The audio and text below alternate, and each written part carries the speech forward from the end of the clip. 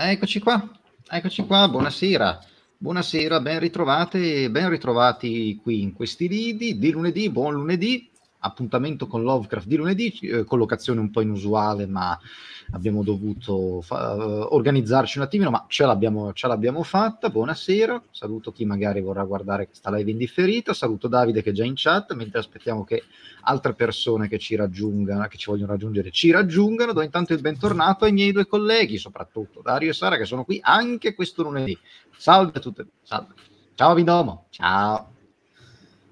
Buonasera, buonasera a tutti. Siamo qua stanchi, sfatti, ma pronti ad affrontare i mostri e qualunque cosa il signor Ward ci racconterà e farà. Buonasera, buonasera a tutti. Anche io sono, come dire, organizzata per riuscire a... Tra l'altro io lo posso fare sta cosa perché ste robe di marchi, di... di, di, di... Vabbè, buonasera, buonasera. Buonasera, be- be- beve roba, be- lei beve roba, non si preoccupi, beve roba, non si preoccupi. Esatto, io, io mi caffeino. Si, si, caffeini, si caffeini. Voi in chat come state intanto? Ma va, saluto chiunque stia arrivando, palesatevi, palesatevi, non siate timidi, non siate timidi. Come va? Come, come vanno le cose? Dite un po'. Perché solo tre puntini? Vi do. Che, che succede? Che succede? What, what succede? Non, non... Ah, sì, va bene. Non lo so, io non lo so, non lo so. Non lo so. Che è vero, è vero, è giusto. Eh, sono i grandi misteri della vita. Ah, sì, eh.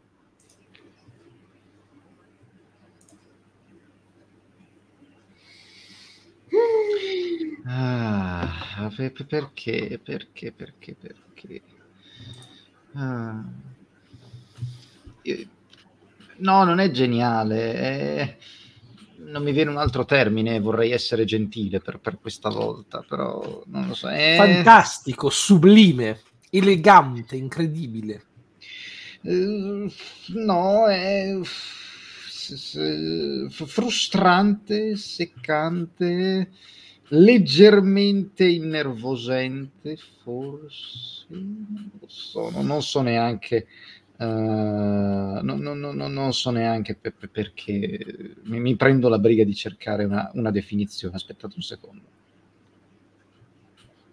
Cosa ci raccontate? Dai, raccontateci qualcosa di interessante, di divertente. Sì, raccontate, raccontate. Non pensiamo alle freddure, non pensiamo alle freddure questa volta. Dai, su. Ra- raccontate qualcosa di divertente. A chi non ha ancora scritto in chat, scriva in chat, scriva, scriva.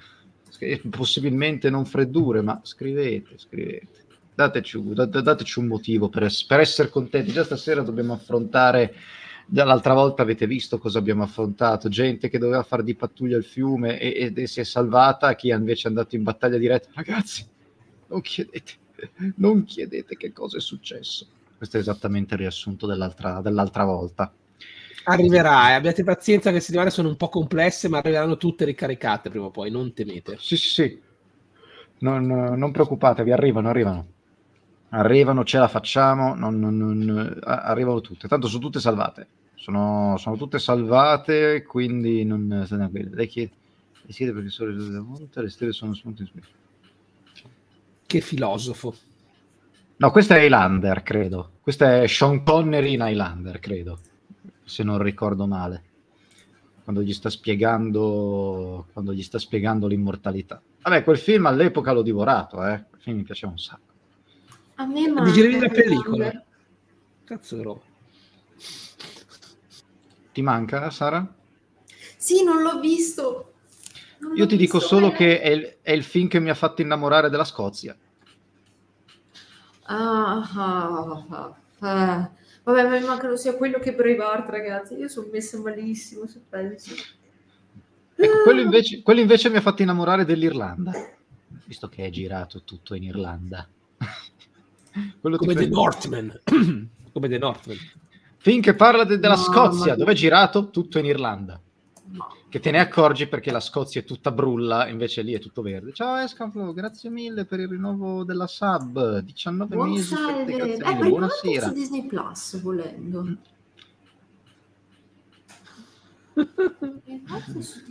e tu l'hai mandato a fanculo, Davide.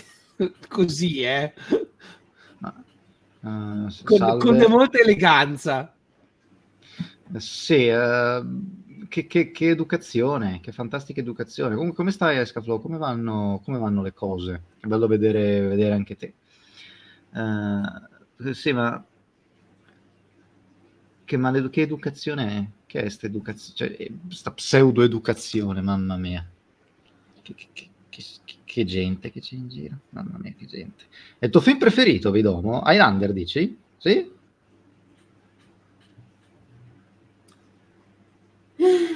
Comunque avrei giurato, Vidomo, che uno dei tuoi film preferiti fosse stato uno di quelli di Dario Argento, cioè. Ma perché? No, Noi come ce da, la passiamo? Da come dire, in, in, tutto il tempo che ho conosciuto Vidomo, eh, era molto più facile che è molto più facile che io lo senta parlare di Dario Argento piuttosto che di um, um, Highlander. Ah, ok. Sì. Salve, salve. Comunque, uh, il fatto che Maschio Maschio mi sono è uscita malissimo. Ok. Ok. Ah, allora, non riesco a capire come volessi tirarti su di morale, però devo dire che insomma sei impegnato. Cioè, per cioè, farti ridere, certo cosa. In qual modo sei impegnato? Sì, in senso sbagliato, cioè nel senso, e per, tirarti, per farti ridere cosa voleva fare? Tirarti una sberla? No, chiedo, eh, chiedo. È il mio film preferito, ma non quello che reputo il migliore, ma quello a cui sono più legato. Finalmente guardami tu, poi intere. Ti vado a dimostrare del messo che Beh, sì, è uno dei motivi di fascino anche per me, per quanto riguarda quel film. Poi devo dire, ci sono le musiche dei Queen, anzi, musiche di Michael Kamen, ma canzoni dei Queen. Vabbè, eh, esatto, io sono più legata alla canzone che, è, che fa da colonna sonora, che è Who Wants to Live Forever, finché non è arrivato il volo, poi vabbè. Non lascia perdere, pensa alla versione originale, non farti del male. Però, però è stato bello perché mi hanno fatto ridere. Eh, non mi ricordo chi ha fatto il montaggio con eh, appunto il volo che canta to Live Forever a, a Sanremo. E sotto eh, Freddie Mercury nel frattempo hanno tirato fuori eh, il Doctor Strange zombie. Sai che in quel momento Fre- Freddie Mercury esce dalla tomba per prenderli a calci nel sedere. Sì, effettivamente se lo sarebbero meritati perché insomma... Comunque l'ho sentita, non è male, però... Sì, ma non è... Non, non, cioè, le, no, è proprio cioè, loro insomma... come si pongono sul palco che mi sta qua. Cioè... Ciao Gabriele, ciao, buonasera. Ciao, buonasera, buonasera, ben arrivato, come va? Parlando de- delle canzoni dei Queen, no, ma se tra l'altro non è l'unica canzone, perché tutto l'album A Kind of Magic mm. è, è colonna sonora. Tutto l'album? Ah sì, certo, sì. anche Princess of the Universe, è vero. Tutto l'album A Kind of Magic. Eh sì, è la, è la canzone d'apertura del film. Sì. È troppo tempo che non l'ascolto adesso, oddio. Quindi guarda il Giacomo, film. Mentre Giacomo legge, io che mi, io che mi ascolto Princess of the Universe.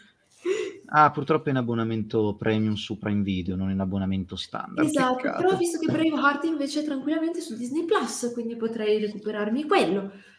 Uh-huh. Però è anche vero che è troppo tempo che non guardo, come si chiama? Un altro film come Sean Connery, credo uno, Ciao Noir, uno buonasera. Più... Ciao Noir. Uh, buonasera, Ciao, come stai? Chi è appena arrivato? Come state? Come state? Scusa Sara, dicevi? Il primo cavaliere con Richard Gere, Julia Ormond, Sean Connery, quello è guardabile tranquillamente e io quel film lo amo, lo amo. Eh beh, sì. Veramente quello lo guardo fin- da finché ero eh. pechegna proprio. Dario, sei tu che stai tamburellando sul tavolo? Probabilmente sì, sì, sì, può essere. No, perché, no, perché si sentiva, sentivo tum, tum, tum, tum, tum, tum, tum. Stavi suonando, stavi sì, suonando la batteria. Stavi suonando la batteria, no, scusa. Sì, eh, tra l'altro io devo ricordarmi di non lasciare proprio l'horror vacui per uh, quando parlo perché ho, il, ho, l'orologio che va in cucina. Eh, vabbè, ma, ma, l'orologio ormai è, è, il quarto membro di questa live, anzi il quinto perché il, il, quarto, il quarto è la borraccia. La borraccia ce l'ho qua pronta, solo che stasera non ha il tappo, semplicemente bevo. Eh beh, sì, mm, me lo, me lo, me, me, lo ricordavo. Sì. Giuro Esatto. che la smetto, eh. Abbiamo, un album, abbiamo un album intero, li prendiamo solo per tutti voi. E poi voglio dire, che affarone. Cioè, ai, ai Queen, e che, cioè, conosciamo i Queen, buttiamoli via. No, assolutamente no. Ma poi loro, ma poi loro coraggiosissimi perché l'altra colonna sonora che gli avevano chiesto prima era tipo Flash Gordon, ma sappiamo benissimo che... Ecco, anche Flash Gordon vorrei vederlo, ma mi sa che io lo guardo tipo con l'occhio della parodia. No- non lo guarderò Beh, mai fu- seriamente Flash Gordon, cioè perdonatemi. fu abbastanza un, un floppazzo, sì. Fu discretamente un, un floppazzo, però le loro canzoni erano, erano belle, sì, belle sì. Ma Noir, l'assemblea condominiale alla Fantozzi? Cioè, tipo guerra aperta, botte, gente che vola dalle finestre. Quindi insomma hai affrontato, eh, hai, hai affrontato l'ira de- de- de- della gente in uno degli ambienti peggiori del Quello mondo. è- Dai, ti, ti aiutiamo a rilassarti. Ti aiutiamo a- Esatto, a quella è una rilassarti un cosa po'. che non, non sper- non ho mai sperimentato e non sperimenterò mai un'assemblea condominiale perché grazie a Dio ho una casa mia. Deve essere qualcosa di abbastanza strano da, vedere, da vivere. Di Sì, particolare. gente che non lo so, neanche io l'ho mai provata in realtà. Citazione messa. Senti, stronzo, tu sei, so- tu sei come Sandro Curzi, fai della retorica insopportabile. Allora, lei porta dentro il cane che caga come un leone in giro per il, condominio e lo sa che da regolamento condominiale non si può. Dice, si stavano per azzannare per dei contatto, quindi è veramente come in Fantozzi. Lei manca ancora tre rate da pagare, eccole qui, uno, due e tre. Lei che, lei che danneggia la guardiola, vada giù a vederla, vada, vada. Oh, c'è andato. Ah, Lei lo sa che la bicicletta da regolamento condominiale in cortile non si può mettere. Eh. Le buco le gomme, cosa? Le storpio il cane, cosa? Signora Deborah, buongiorno. Allora, allora a me non mi si prende per in giro, ha capito? Perché lei apparentemente è educato, va sotto sotto, è un gran cafone. Perché quando sto lavando il pavimento gradirei che non si passasse in giro. Ma che io la curo, sa? Io la curo. Bellissimo. Deborah, per favore, mica, mica di condominio. Fa provare l'ebbrezza del potere la portina. eh? L'ebbrezza del potere. Ah, e, e dopo il 95 ci fu un boom di persone che andarono a fare le portinaie o i portinai per provare l'ebbrezza del potere.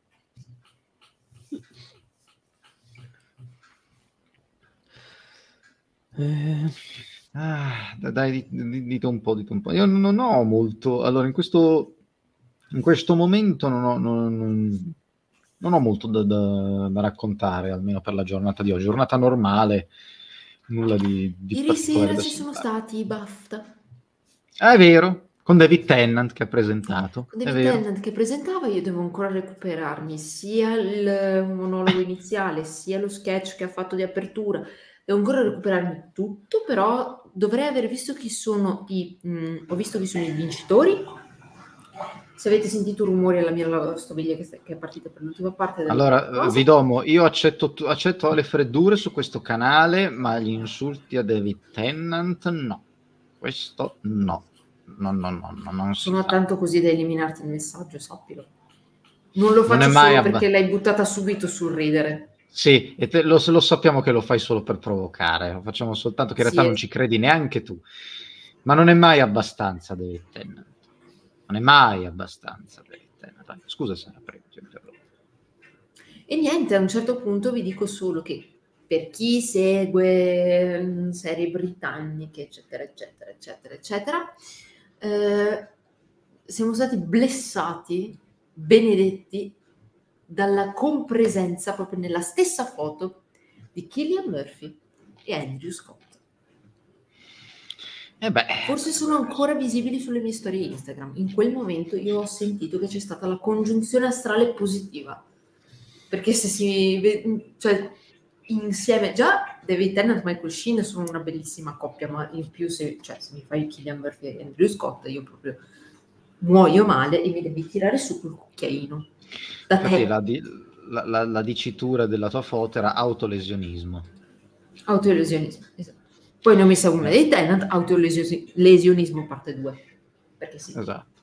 L'altro c'erano tutte le, le, storie di Georgia Tennant che supportava il marito, che, che era lì anche lei. Fanta, il BAFTA blog. Lei, lei, è la, è la, lei, è la, prima stalker di suo marito. Ma, ma, lei, ma, lei, è meravigliosa. Ma tra l'altro aveva il kilt, non ho visto. Ha presentato i, i BAFTA in kilt. Cioè, ti rendi conto? ti rendi conto? Quest'uomo non smetterà mai di dire io sono scozzese e ne sono orgoglioso. Cioè, il suo orgoglio scozzese non, non, non, non si...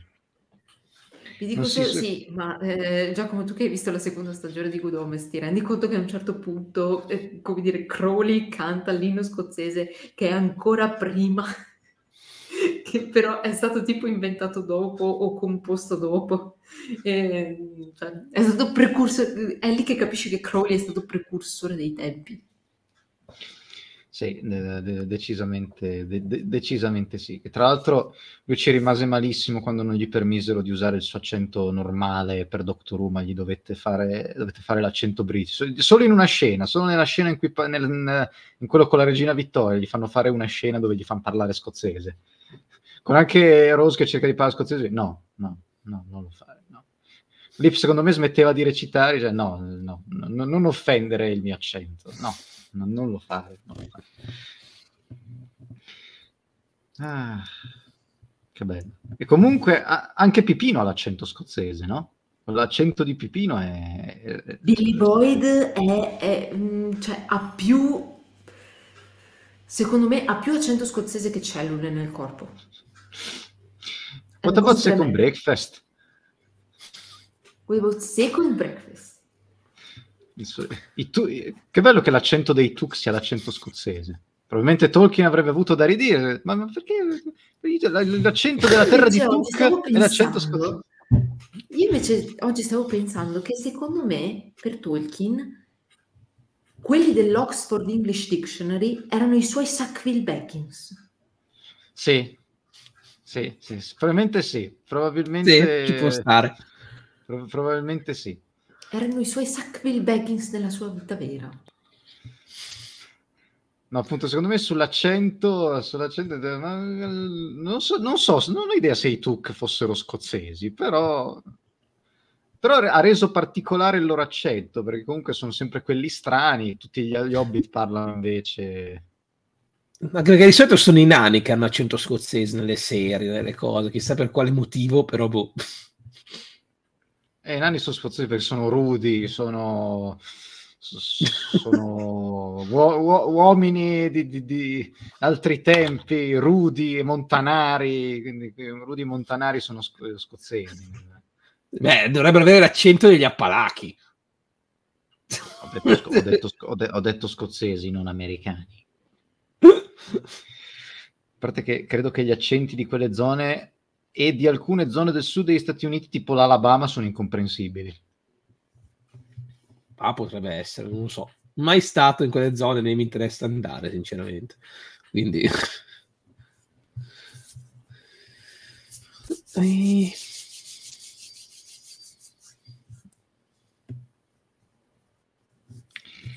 Eh, e tu che ne sai se che, non, che non sono scozzesi? Beh, beh, ma in parte, allora anche Gimli in parte aveva l'accento un po' scottish per certi versi, anche John Rice Davis lo usava, se non ricordo male. Dovrei ascoltarmelo in originale, perché da un po' che non guardo Il Signore degli Anelli in originale. Però... No, però io ho in mente la, proprio l'accento di, di Billy Boyd, che è proprio scozzese, scozzese. Devo controllare perché non mi ricordo mai Monahan da dove arriva. Non mi ricordo neanch'io. Tra l'altro... Britannico, Stockport, uh, vabbè, nato in Germania, College, scusate, Manchester. È di Manchester. Anche, anche loro, uh, più che altro lui ha studiato a Manchester perché in realtà ha vissuto a Stockport. Ah, tra l'altro... Sì, sì, sì, sempre dintorni di, di Manchester. Ok. Tra l'altro, per chi non lo sapesse, in questo periodo Billy Boyd e Dominic Monaghan sono in scena con Rosencrantz e Guildenstern sono morti.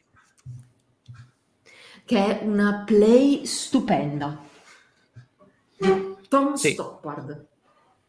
Praticamente è la storia, appunto, per chi conosce l'Amleto di Rosencrantz e la storia di Rosencrantz e Guildenstern, praticamente.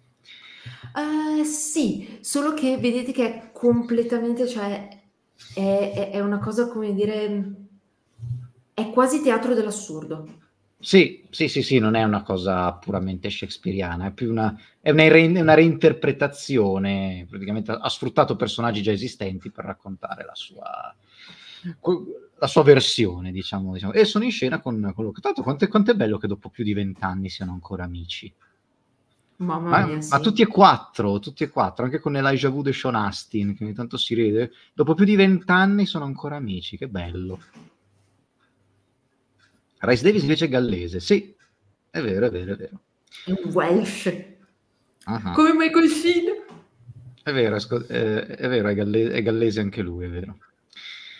Dovevo dire una cosa, ma non mi ricordo, forse... Ah, la, la cosa divertente però fu il casting di Frodo.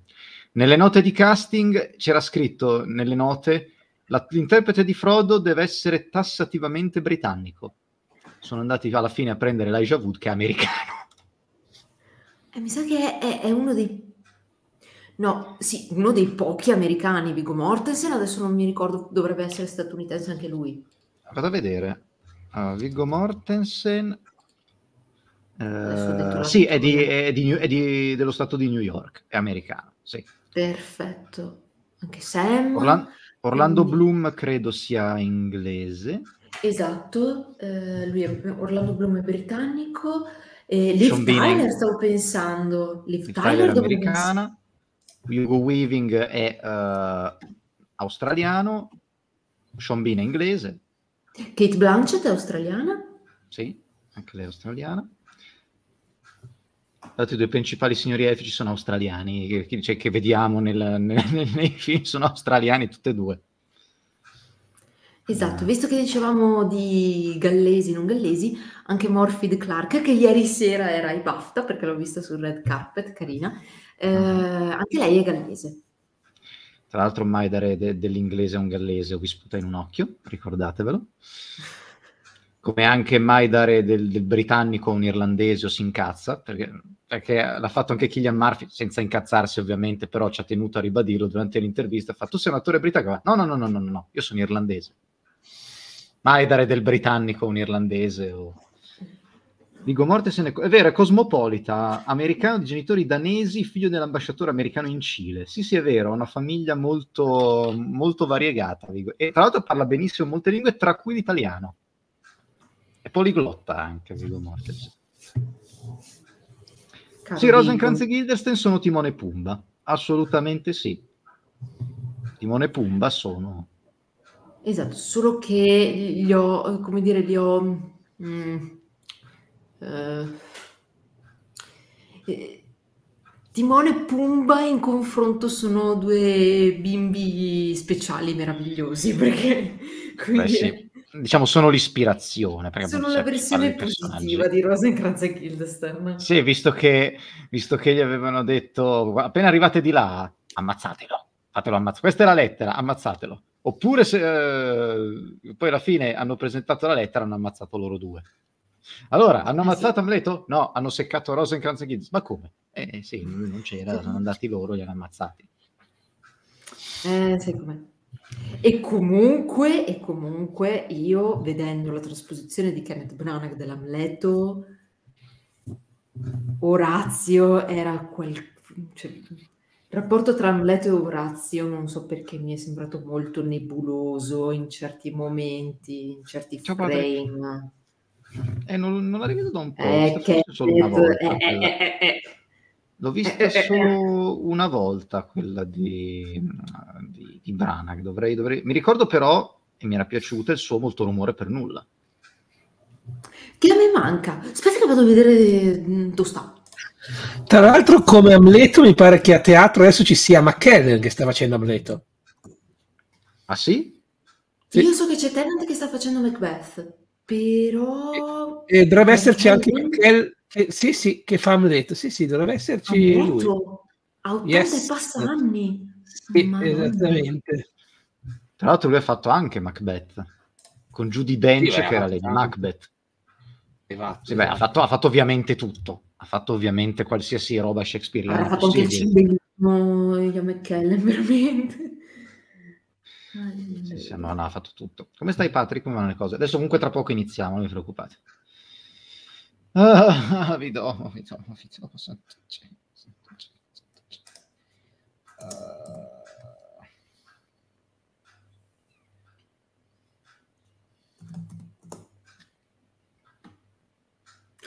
Che palle anche questo abbonamento premium su Prime Video. La- la- e la- allora, ehm, eh, esce, eh, cioè è appena uscito la- la- il film, diciamo, girato nel 2021, quando Michele stava facendo Amleto a teatro, al Royal Theatre. A Royal Windsor Theatre, sì. Esatto, ehm, Dario, grazie, mi hai dato un'ottima idea perché in teoria se voi cercate National Theatre at Home vi viene fuori proprio questo servizio di eh, streaming e noleggio delle eh, play, delle pièce teatrali britanniche. Quindi voi magari potete vedervele in streaming, sapete che ce le avete per ehm, pagato ovviamente qualcosa, adesso non mi ricordo eh, dovrebbe essere sempre sui mm, 9-10 euro il noleggio. Però per una- uno spettacolo teatrale di qualità così ne vale la pena. Sì, sì, sì, ve lo guardate comodamente da casa, ma vi assicuro sono uno più bello dell'altro. Non stiamo parlando Addirittura di... con Vincent Price non poteva essere fatto Sir perché Vincent Price è americano, non è britannico. Quindi Esatto. è difficile che avesse il titolo di Sir. Esatto, era, ameri- era americanissimo. Eh, erano Lee e Cushing a essere britannici. Lui- Cheney e Price erano americani. esatto. Karloff era britannico, anche Karloff. Sì. Lugosi invece era ungherese. Ungherese, mi sembra ungherese, Lugosi, sì. non ricordo male. Stanco, va bene, dai, ti, ri- ti rilassi un po' con noi. Noi abbastanza bene. Sì, Oppenheimer ha, ha ha stravinto, ma farò finta di non leggere l'ultima parte del, del- del- del messaggio. Ungherese, sì, era ungherese. Era ungherese, era Lugosi. Esatto, di solito se uno... Cioè, per- mi viene in mente un altro, eh, lui si chiamava Bella Lugosi, giusto? Bella Lugosi, Sì. sì, esatto. Perfetto, mi viene in mente un altro compositore che era Bela Bartok, che dovrebbe essere anche lui, eh, come dire, eh, ungherese. Adesso vado a controllare. Tra l'altro, eh, se, se avete dubbi sulla nazionalità di Karloff, ricordatevi la scena di Ah, Ed Wood sì. in, cui, in cui Bela Lugosi, che notoriamente era, era invidioso di Karloff perché aveva fatto più carriera di lui, c'era un po' una rivalità tra Karloff e Lugosi, in cui lui si sfoga e lo chiama quel testa di cazzo di un inglese. No, è, ma è bello Ed Wood di Tim Burton, eh? È un bel film, forse uno dei suoi migliori. Lady scusate. from Outer Space, grande Eh film sì, parla anche, della, parla anche della lavorazione di quel film, di Plan 9. E parla soprattutto dell'amicizia che c'era tra Bela Lugosi ed Ed Wood. Allora, io mi devo assentare un attimo, eh, torno appena possibile, se intanto i miei colleghi vogliono iniziare a leggere, per me nessunissimo Ok, sì, tra problema. poco iniziamo, tra poco, tra Sì, poco sì, sì, iniziamo. sì, sì. Farò finta di non aver letto il commento di, ehm, di, di, di Vidomo, assolutamente, farò finta di non, di non averti letto. E insomma, po', po', po' soffri- un po' soffro, un po' mi fate soffrire, però vabbè, fa parte del gioco, ormai fa, fa decisamente parte del gioco. Ma a proposito invece di Lovecraft, sul canale, eh, sul sito rosso, canale sul tubo della Chaosium, che è la casa di produzione del gioco di Call of Cthulhu, è iniziata una nuova serie, diciamo, sì, di gioco di ruolo eh, con appunto attori, doppiatori, eccetera, che è molto bella, che si chiama Graveyards of Arkham. E è uscito oggi il secondo episodio, saranno cinque, penso un episodio a settimana, ve lo consiglio perché è molto carino. Ma chi c'è? Uh, allora, che, allora, di famosi non ti saprei, non ne conosco nessuno a parte Mark Meir che è il, il keeper, il custode. Uh, gli altri non saprei dirti chi sono. Beh, andrò a vedere, andrò, andrò a vedere. Però è molto carino. Poi Mark Mir come custode è, è figo. Ci sta, ci sta, ci sta. Allora, io direi di, di iniziare con la lettura, se vi va, di tornare in, nei territori Lovecraftiani con Charles Dexter Ward che dopo aver letto tutto quello che ha letto sul suo antenato, invece di fare la cosa più intelligente, ovvero lasciar perdere, già che mi metto alla ricerca ulteriormente. Giusto, bravo, ci sta. No. Sempre esplorare, sempre esplorare il passato. No, perché poi tu esplori il passato, ma potrebbe essere il passato esplorare te in modi che magari non vorresti. Eh, vabbè, devi correre dei rischi. Sì, ho capito, però. Il mio antenato era sospettato di rituali strani, di evocare demoni o divinità e cose, creature ancestrali. Forse era pure un resuscitatore di morti. Aspetta che vado a informarmi di più e vado a cercarlo. Adela pure è andata. Quindi, quindi sì, siamo alla parte 3, ragazzi, del lungo racconto su Charles Dexter Ward. Lasciamo una, una cioè, lasciamo. Passiamo dall'epoca di Kerwin uh, all'epoca di Charles Dexter Ward. Sì, esatto, vedo, durava una settimana, adesso sto compensando tutto. Sto, sto, sto, sto, cercando di riequilibrare il mio organismo, però ecco, è difficile, è difficile. Allora, soffro un po' meno di prima, ma comunque soffro. Ecco, mettiamola così. Parte terza, una ricerca e un'evocazione, cioè le due cose che non devi fare.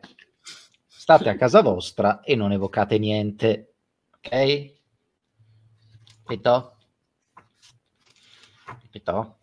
State a casa vostra e non cercate niente. Non ne vale la pena. Charles Ward, come abbiamo visto, apprese per la prima volta nel 1918 della sua discendenza da Joseph Kerwin.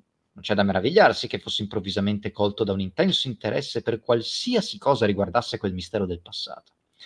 E le pur vaghe voci che aveva udito a proposito di Kerwin erano ora diventate di vitale importanza per lui, nelle cui vene scorreva il sangue di Kerwin. Nessun genealogista coraggioso e fantasioso avrebbe fatto diversamente da ciò che lui fece, vale a dire cominciare subito una raccolta avida e sistematica di tutti i dati, i dati che si potevano trovare su Kerwin. No, no, no, no.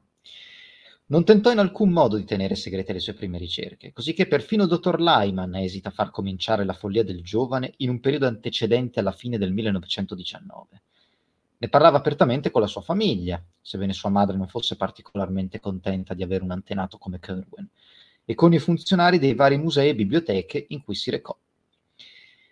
Nel chiedere ai... chissà se il mio personaggio l'ha incrociato. Cioè, il mio personaggio di Call of Cthulhu lavora nei musei dopo la prima guerra mondiale, quindi chissà. chissà. Uh, nel chiedere ai privati eh, documenti che riteneva in loro possesso, non tenne celato il suo scopo e condivise lo scetticismo alquanto divertito con cui si guardava i resoconti degli antichi diari e lettere. Spesso espresse un'acuta curiosità nei confronti di quello che era veramente accaduto un secolo e mezzo prima alla fattoria di Potaxet, la cui ubicazione aveva invano cercato di trovare e nei confronti di chi era, eh, nei, nei confronti di ciò che era accaduto un secolo e mezzo prima e nei confronti di, ciò che era, eh, di chi era stato veramente Joseph Kerwin. Quando si imbatté nel diario di Smith negli archivi e trovò la lettera di Jedediah Horn, decise di recarsi a Salem per indagare sulle attività e sulle conoscenze di Kerwin in quella città. Partì durante le vacanze di Pasqua del 19. All'Essex Institute che gli era ben noto dai precedenti soggiorni in quell'antica affascinante cittadina, dai decadenti frontoni puritani e, que- e dai fitti tetti spioventi, fu accolto con gentilezza e vi scoprì una notevole quantità di informazioni su Kerwin.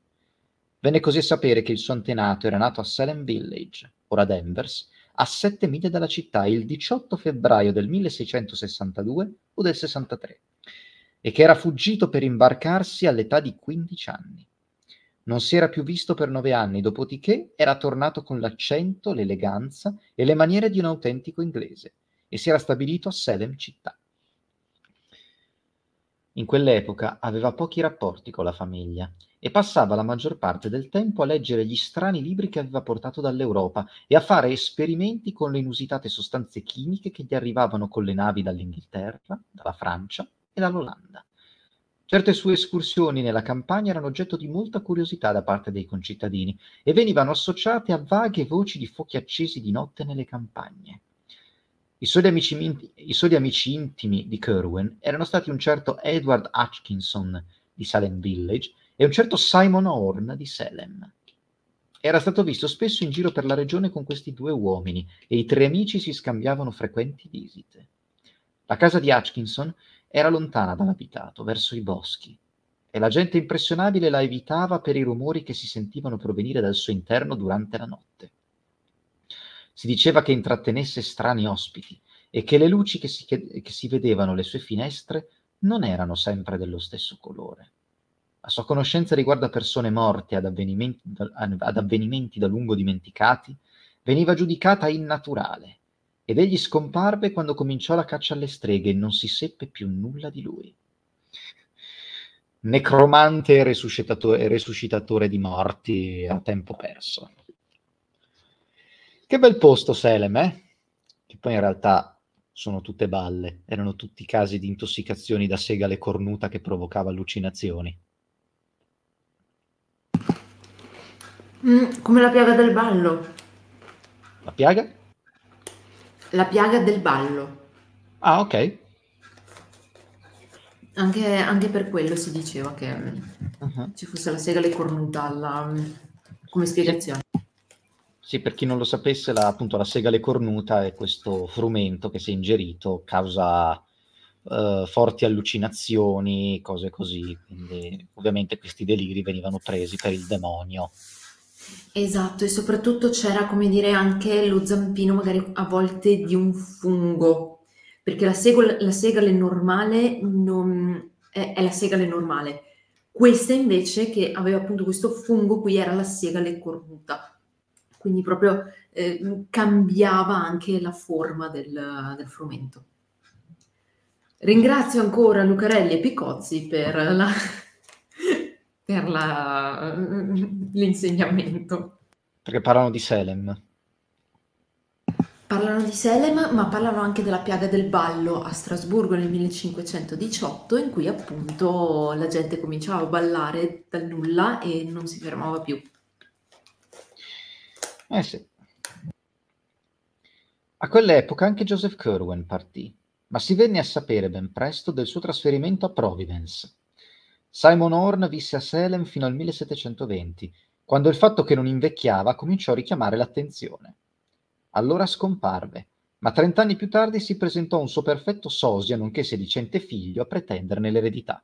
Sappiamo invece da, da, da quello delle cose precedenti che era sempre lui. Era sempre lui che si spacciava per, per suo figlio. La sua richiesta venne considerata legale sulla base di documenti di pugno di Simon Horn e Jedediah Horn continuò ad abitare a Salem fino al 1771, quando certe lettere inviate da, da alcuni cittadini di Providence al reverendo Thomas Barnard e ad altri provocarono il suo segreto allontanamento in luoghi ignoti. Certi documenti riguardanti direttamente o indirettamente tutte queste strane storie erano disponibili all'Essex Institute, al Palazzo di Giustizia e all'Ufficio del Registro, e comprendevano sia innocue banalità, come atti di proprietà e di vendita, sia frammenti misteriosi di natura più interessante. Buonasera Alberto, buonasera. Si trovarono anche 4 o 5 allusioni a quelle storie negli atti dei processi alle streghe. Un certo Ezziba Lawson giurò il 10 luglio 1692 davanti alla corte di Oyer e Terminen eh, e dal giudice Hawthorne che 40 streghe e l'uomo nero si incontravano nei boschi dietro la casa di Mr. Hutchinson. Una certa Amity Howe dichiarò durante la seduta dell'8 agosto, presieduta dal giudice Gedney, che Mr. G.B. George Burrow quella notte pose il marchio del diavolo su Bridget S., Jonathan A., Simon O., Deliverance W., Joseph C., Susan P., Matthew C. e Deborah B. Poi c'era un catalogo della misteriosa biblioteca di Hutchinson, che era stato trovato dopo la sua scomparsa e un manoscritto incompleto nella sua grafia scritto in un linguaggio cifrato che nessuno era stato in grado di capire. Ward ordinò una copia fotostatica di questo manoscritto e cominciò a lavorare sul linguaggio cifrato non appena la copia gli arrivò. Dopo il successivo mese di agosto, i suoi tentativi di interpretare il linguaggio cifrato divennero intensi e febbrili, e dai suoi discorsi e dal suo comportamento c'è ragione di credere che ne avesse trovato la chiave prima di ottobre o novembre. Non disse mai comunque se il suo lavoro era stato coronato dal successo. Ma di grande interesse immediato fu il materiale di Horn. A Ward occorse pochissimo tempo per provare attraverso, per provare attraverso l'identità della grafia quello che egli già considerava certo sulla base del testo della lettera a Kerwen. Vale a dire che Simon Horn e il suo ipotetico figlio erano la stessa persona. Come Horn aveva detto al suo corrispondente, era pericoloso vivere troppo a lungo a Salem. Di conseguenza era ricorso a un soggiorno all'estero per 30 anni ed era tornato a reclamare i propri, beni, i propri beni solo come rappresentante di una nuova generazione. Horn era stato evidentemente molto attento nel distruggere la maggior parte della sua corrispondenza, ma i cittadini che agirono nel 1771 trovarono e conservarono qualche lettera, qualche documento che aveva suscitato la loro meraviglia.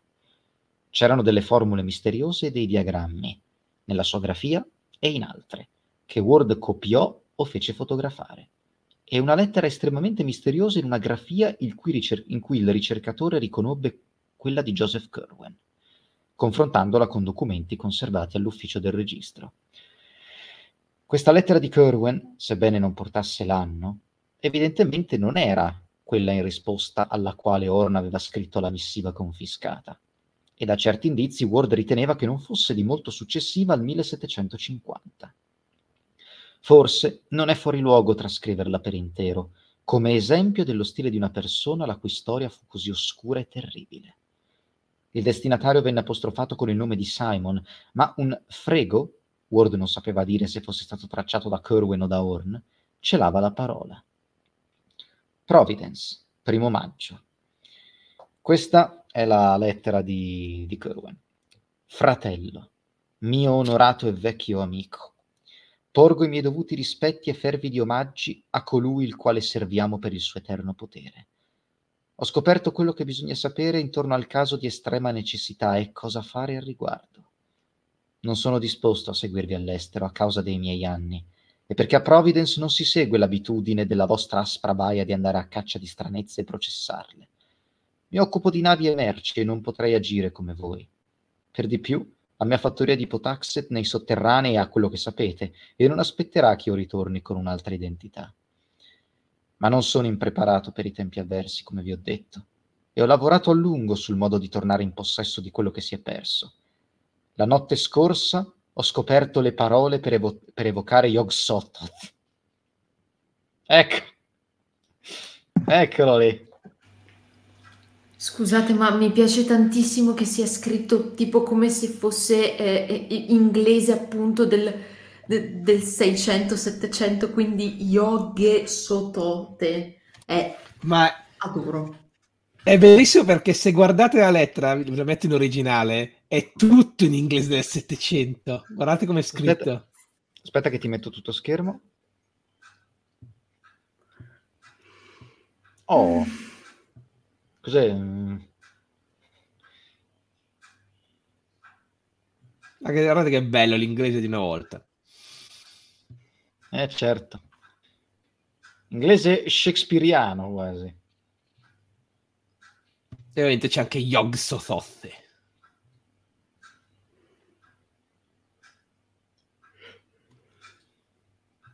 Davide, però hanno Eh? senza H mi fa male. Hanno senza H mi fa male, porca miseria. Come ho detto, le freddure E- le ecco. sopporto, ma gli errori di grammatica no. E comunque Yog Sothoth non è esattamente neanche lui così tranquillo.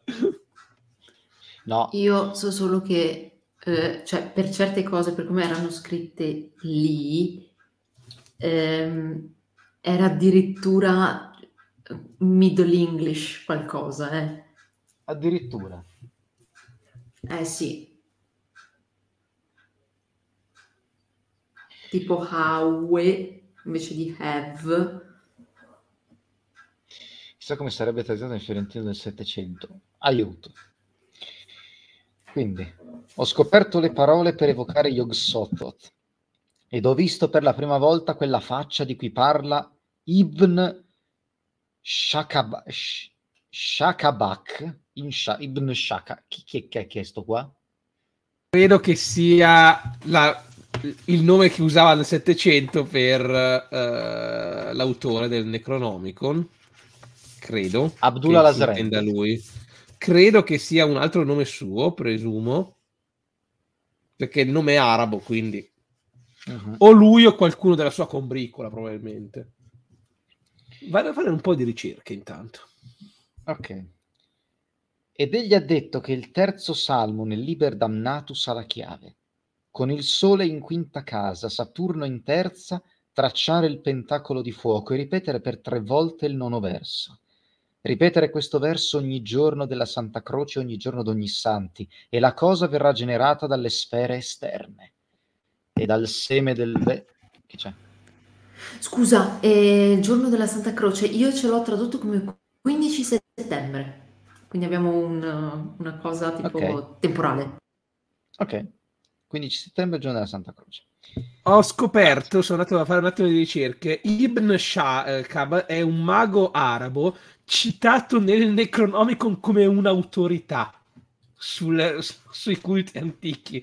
Anche Abdullah al-Azra dice ok, questo è più bravo di me. Ah, quindi era ulteri- su- ulteriormente sopra di grado.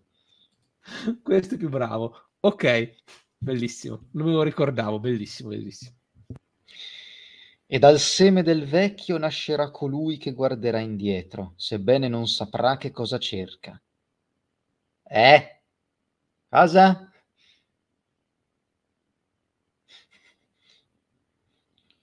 Ma tutto questo sarà inutile se non c'è un erede, o se i sali o il modo di prepararli non fossero a sua disposizione.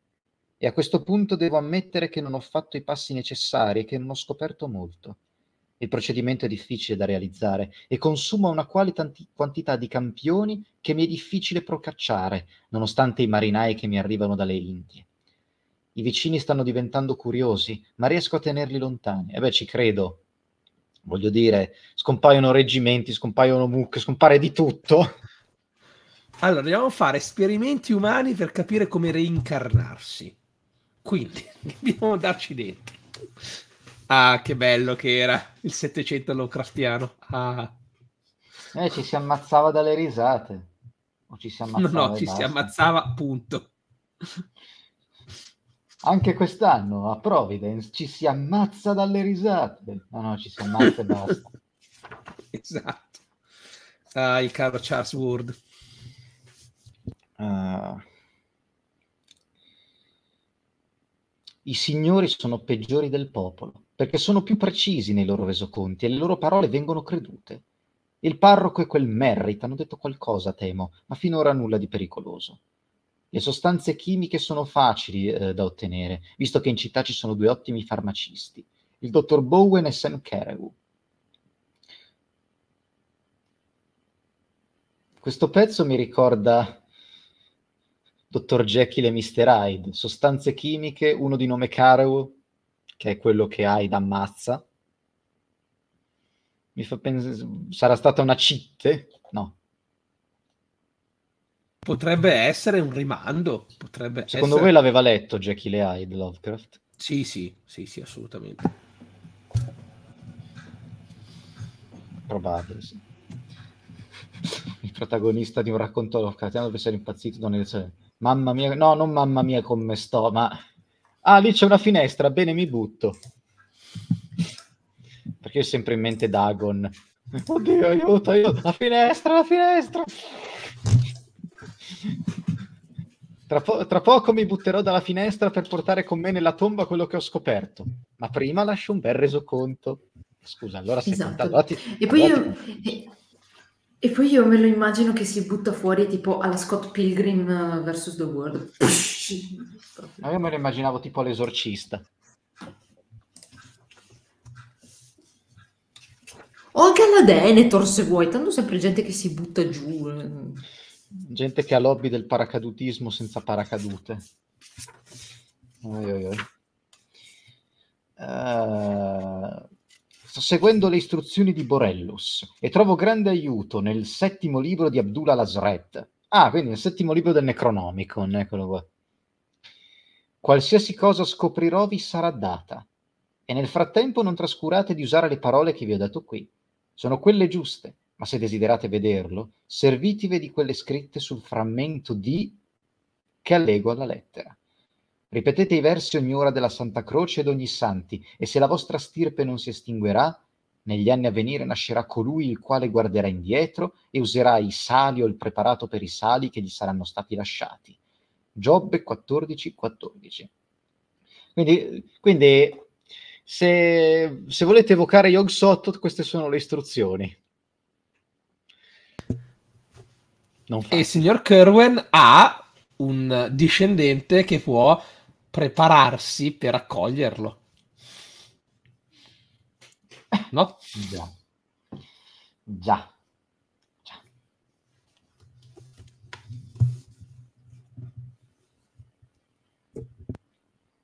Uh, aspettate. Sono felice che, stiate, che siate tornato a Salem e spero di vedervi tra breve. Ho un ottimo stallone, sto pensando di prendere una carrozza, visto che ne ce n'è già una, quella di Merritt, a Providence sebbene le strade siano pessime. Se siete disposti a viaggiare, non passate da qui senza venirmi a trovare. Da Boston prendete la strada della posta e attraversate Dedham, Wrentham e Attleborough. In tutte queste città ci sono ottime taverne. Fermatevi a quella di Bo- Bolcom a Wrentham, perché ha letti migliori di quella di Hatch. Ma mangiate nell'altra taverna perché la cucina è migliore. Eh, pure la, la guida Michelin gli ha fatto. la guida Michelin del Massachusetts. Alle cascate di Potaxe svoltate per Providence e prendete la strada subito dopo la taverna di Sales. La mia casa è di fronte alla taverna di Epentus Olney, alla fine di Town Street. La prima sul lato nord di Olney Court. La distanza da Boston è di circa 44 miglia. Il vostro vecchio e vero amico e servitore nel nome di Almonsin Mer, eh, Metraton jo- Josephus Kerwin al Monsin Metratron. Vado a prendere edizione annotata, vado a fare ricerche anche in questo caso. Ok. A Mr. Simon Horn, William S. Lane, Salem. Questa lettera, strano a dirsi, fu il primo documento in cui Ward trovò c- citata l'esatta ubicazione della casa di Kerwin a Providence. Uh, infatti, Nessuna delle carte trovate fino a quel momento erano state precise riguardo questo particolare.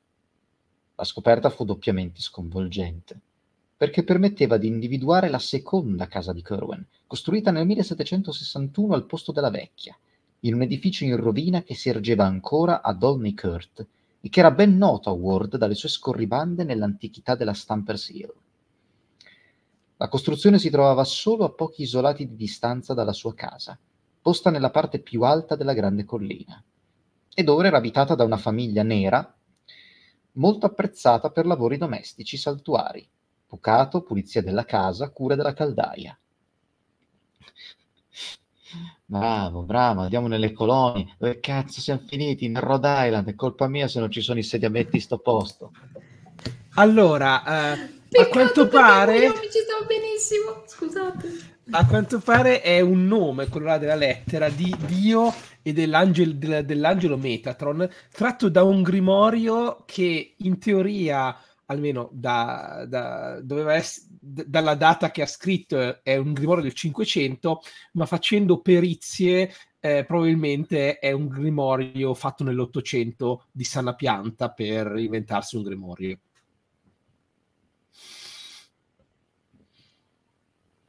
Bello. Ciao Pami, buonasera. Buonasera Pami. Tanto perché buonasera. ormai stiamo... Cioè... Almozin non me lo ricordo, Metatron sì. Sì, Metatron, Metatron è un altro, un, un altro dei nomi degli angeli della Kabbalah è Sephiroth, ve lo dico. Sì, sì, Sephiroth è il nome di un angelo. Sì, sì, Nel manuale dei mostri dell'Apocalisse ci sono entrambi. Bene. Metatron Bene. È, anche, è anche in Good Omens e Derek Jacobi. Assolutamente sì. E infatti speravo di ricordarmi perché appunto, siccome Good Omens 2 mi aveva, come dire, uh, fatto andare in orbita con questa cosa degli angeli, mi, mi ero informata, avevo scoperto anche quelli della Kabbalah, e il problema è che non mi ricordo gli angeli. No, Vedomo, no, non è un ero... Transformer. Non è un Transformer Metatron.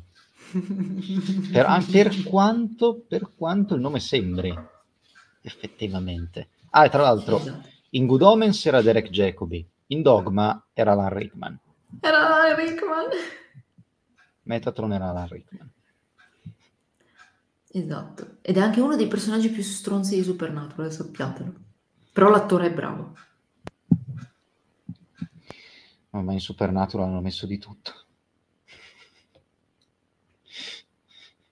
Supernatural è diventato la parodia di se stesso, ma a quanto pare la gente va bene così. Eh, era in Supernatural quando ancora si stava riprendendo d- dallo schifo dei Leviatani, quindi era già eravamo, er- siamo caduti in piedi, ve lo dico, con Metatron siamo caduti in piedi. Eh, eh, infatti Vidomo eh, nera l'ho detto io, perché ovviamente Lovecraft uh, usa il suo solito termine che non posso ripetere qua. Ah. Trovare nella lontana, nella lontana Selem una prova così inaspettata dell'importanza di quella catapecchia nella storia della sua famiglia fu veramente impressionante per Ward ed egli decise di esplorare il posto non appena fosse tornato. I brani più mistici della lettera, che egli prese per uno stravagante genere di parabole, lo lasciarono sinceramente perplesso, sebbene notasse con un fremito di curiosità che il versetto biblico Giobbe 14,14 14, con cui si riferiva ne- nella lettera, con cui ci si riferiva nella lettera era quello ben noto. Se l'uomo muore, può egli tornare in vita? Aspetterò tutti i giorni del tempo che mi è stato dato, finché arriverà l'ora del mio cambio. Ok? È veramente un verso della Bibbia questo? Probabilmente sì, probabilmente è da Giobbe, dal libro di Giobbe. Mi fido abbastanza, che, non, non, lo so a memoria, ma mi fido abbastanza che sia dal libro di Giobbe. Che è uno dei profeti, eh. Sì. Uh, Giobbe sì. Il giovane Ward tornò a casa in uno stato di piacevole eccitazione e passò il sabato seguente in un esame lungo ed esauriente della casa di Olney Kurt. L'edificio, cadente per la vecchiaia, non era mai stato un palazzo, ma una modesta casa di legno a due piani e un ammezzato, del tipo che era comune a Providence del periodo coloniale. Eh, nella Providence del periodo coloniale. Il, po- il, portale artisticamente scolpito con la lunetta a raggi, il frontone triangolare e le belle colonne doriche aveva subito poche alterazioni all'esterno e Ward ebbe la sensazione di guardare qualcosa di molto vicino al sinistro oggetto della sua ricerca. Perché voi sapete il libro di Giobbe, io penso a Giobbe 3,14, quello di Mission Impossible. Giobbe 3,14. Il primo Mission Impossible. Conosceva bene gli attuali inquilini, e il vecchio Asa e la robusta moglie Anna gli mostrarono con gentilezza l'interno della casa. Qui c'erano più cambiamenti di quanto indicasse l'esterno, e Ur notò con dispiacere che più della metà dei bei pannelli ornati di volute, che una volta erano di sopra dei camini, ora erano scomparsi. Così come non si vedevano più gli intagli a forma di conchiglia degli stipi a muro. La maggior parte dei bei rivestimenti e delle modanature in legno, poi, era segnata, intaccata e forata o coperta da una brutta carta da parati. In generale, uh, l'ispezione della casa non rivelò quello che in qualche modo si era aspettato Ward, ma fu per lui eccitante trovarsi fra quei muri ancestrali che avevano ospitato un uomo orribile come Joseph Kerwen. Vide con un fremito che un monogramma era stato cancellato con cura dall'antico batacchio d'ottone. Da quel momento fino alla chiusura della scuola, Ward passò tutto il suo tempo a studiare la copia fotostatica del manoscritto cifrato di Hutchinson e ad accumulare informazioni su Kerwen. La prima attività si rivelò vana, si rivelò vana, ma rinvenne molte notizie e numerose indicazioni per cercare altre informazioni altrove, così che fu presto pronto a partire per New London e New York, per consultare vecchie lettere la cui presenza era segnalata in quelle due città. Questo viaggio si rivelò molto produttivo perché gli procurò le lettere di Fenner con la loro terribile descrizione dell'attacco alla fattoria di Potaxet e, l'epistola- e l'epistolario Nightingale Talbot, da cui apprese del ritratto dipinto su un pannello della biblioteca di Kerwen. La faccenda del ritratto lo interessò particolarmente, visto che avrebbe dato tutto solo per sapere quale fosse stato l'aspetto di Joseph Kerwen. Decise però di fare una seconda ricerca nella casa di Olney Kurt, per vedere se non ci fossero tracce dell'antico ritratto al di sotto degli strati di pittura scrostata o di parati ammuffiti. Questa ricerca si svolse all'inizio di agosto. Ward esaminò attentamente le pareti di ogni stanza che avesse dimensioni tali da poter essere stata la biblioteca del malvagio costruttore.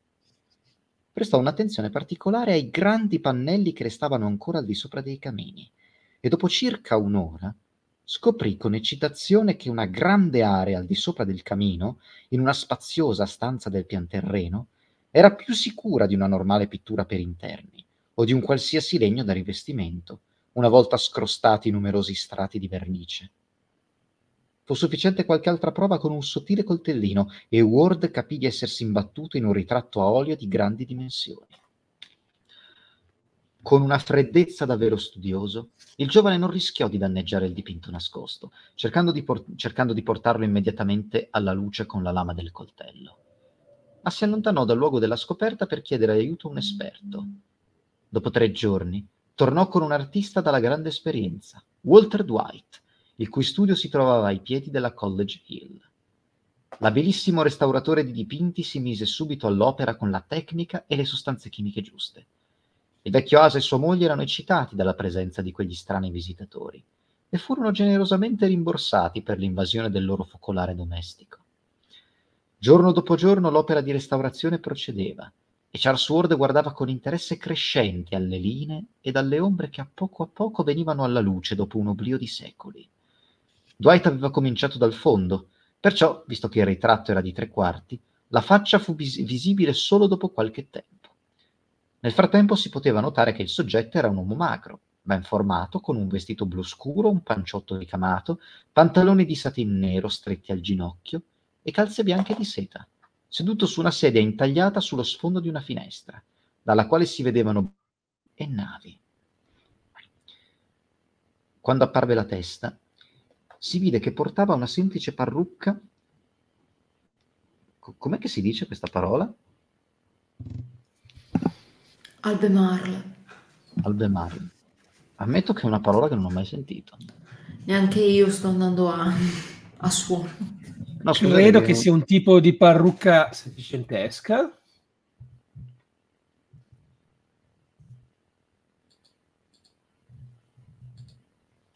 Ammetto, cioè, è, la, è la prima volta che sento il termine.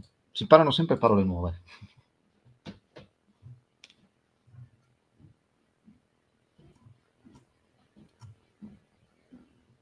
Vado a cercare. Tra l'altro, la copertina del primo video di Charles Dexter Ward, che ha uh, Joseph Curven, appunto, gli ho messo, ha proprio questo tipo di ritratto, tra virgolette, una, una, una riproduzione di questo tipo di ritratto. Non lo so, non trovo niente, forse è un luogo. Ok, scusate, scusate. Scusate. E che aveva un volto sottile, composto dai tratti comuni, che par- eh, composto dai tratti comuni che parve familiare sia a Ward che all'artista. Solo alla fine, però, il restauratore, il restauratore e il suo cliente restarono a bocca aperta davanti ai particolari di quel volto pallido e scarno e contemplarono con un fremito di paura lo scherzo che aveva giocato l'ereditarietà. Fu necessario il bagno finale nell'olio e l'ultima passata de- delicata di raschietto per portare pienamente alla luce l'espressione che i secoli avevano celato e lo stupefatto Charles Dexter Ward, visitatore del passato, vide i propri tratti nel volto del suo orribile antenato. Sono identici. È come guardarsi allo specchio, hanno la stessa faccia. Yeah, evviva! Anche questo è un bel indizio su quello che succede. Dici perché, per, perché mai hanno la stessa faccia e poi dopo Ward portò i suoi genitori a vedere la meraviglia che aveva scoperto e suo padre decise subito di acquistare il dipinto, nonostante fosse realizzato su un pannello fisso. Tagliamo via il muro. La somiglianza con il ragazzo, nonostante l'aspetto più anziano dell'uomo del ritratto, era meravigliosa. Ed era chiaramente visibile che grazie a qualche scherzo dell'ereditarietà, le caratteristiche fisiche di Joseph Kerwin erano state duplicate perfettamente dopo un secolo e mezzo. La rassomiglianza della signora Ward con i suoi antenati non era affatto evidente, sebbene la donna ricordasse dei parenti che avevano alcuni dei tratti comuni a suo figlio e al remoto Kerwin. Non fu contenta della scoperta e disse al marito che avrebbe fatto meglio a bruciare il dipinto invece che portarlo a casa. Affermava che nel ritratto c'era qualcosa di malsano, non solo intrinsecamente, ma anche nella sua somiglianza con Charles. Signora, signora, se lo lasci dire, lei è intelligente. Lei ha capito tutto, signora. Lei ha capito tutto. C'è qualcosa di strano e di misterioso, bruciamo tutto. Non immischiamoci.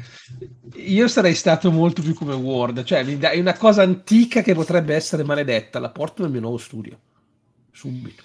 Io, io non ci vengo più a trovarti a casa, perché poi mi ritrovo le maledizioni.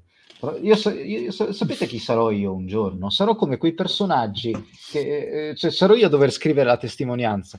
E qui in quest'ora buia mentre il, i ricordi mi, mi, attanagliano la mente, che mi accingo a scrivere le, le, il, il, il, resoconto delle ultime ore di vita di Dario Martini, scomparso in circostanze poco chiare.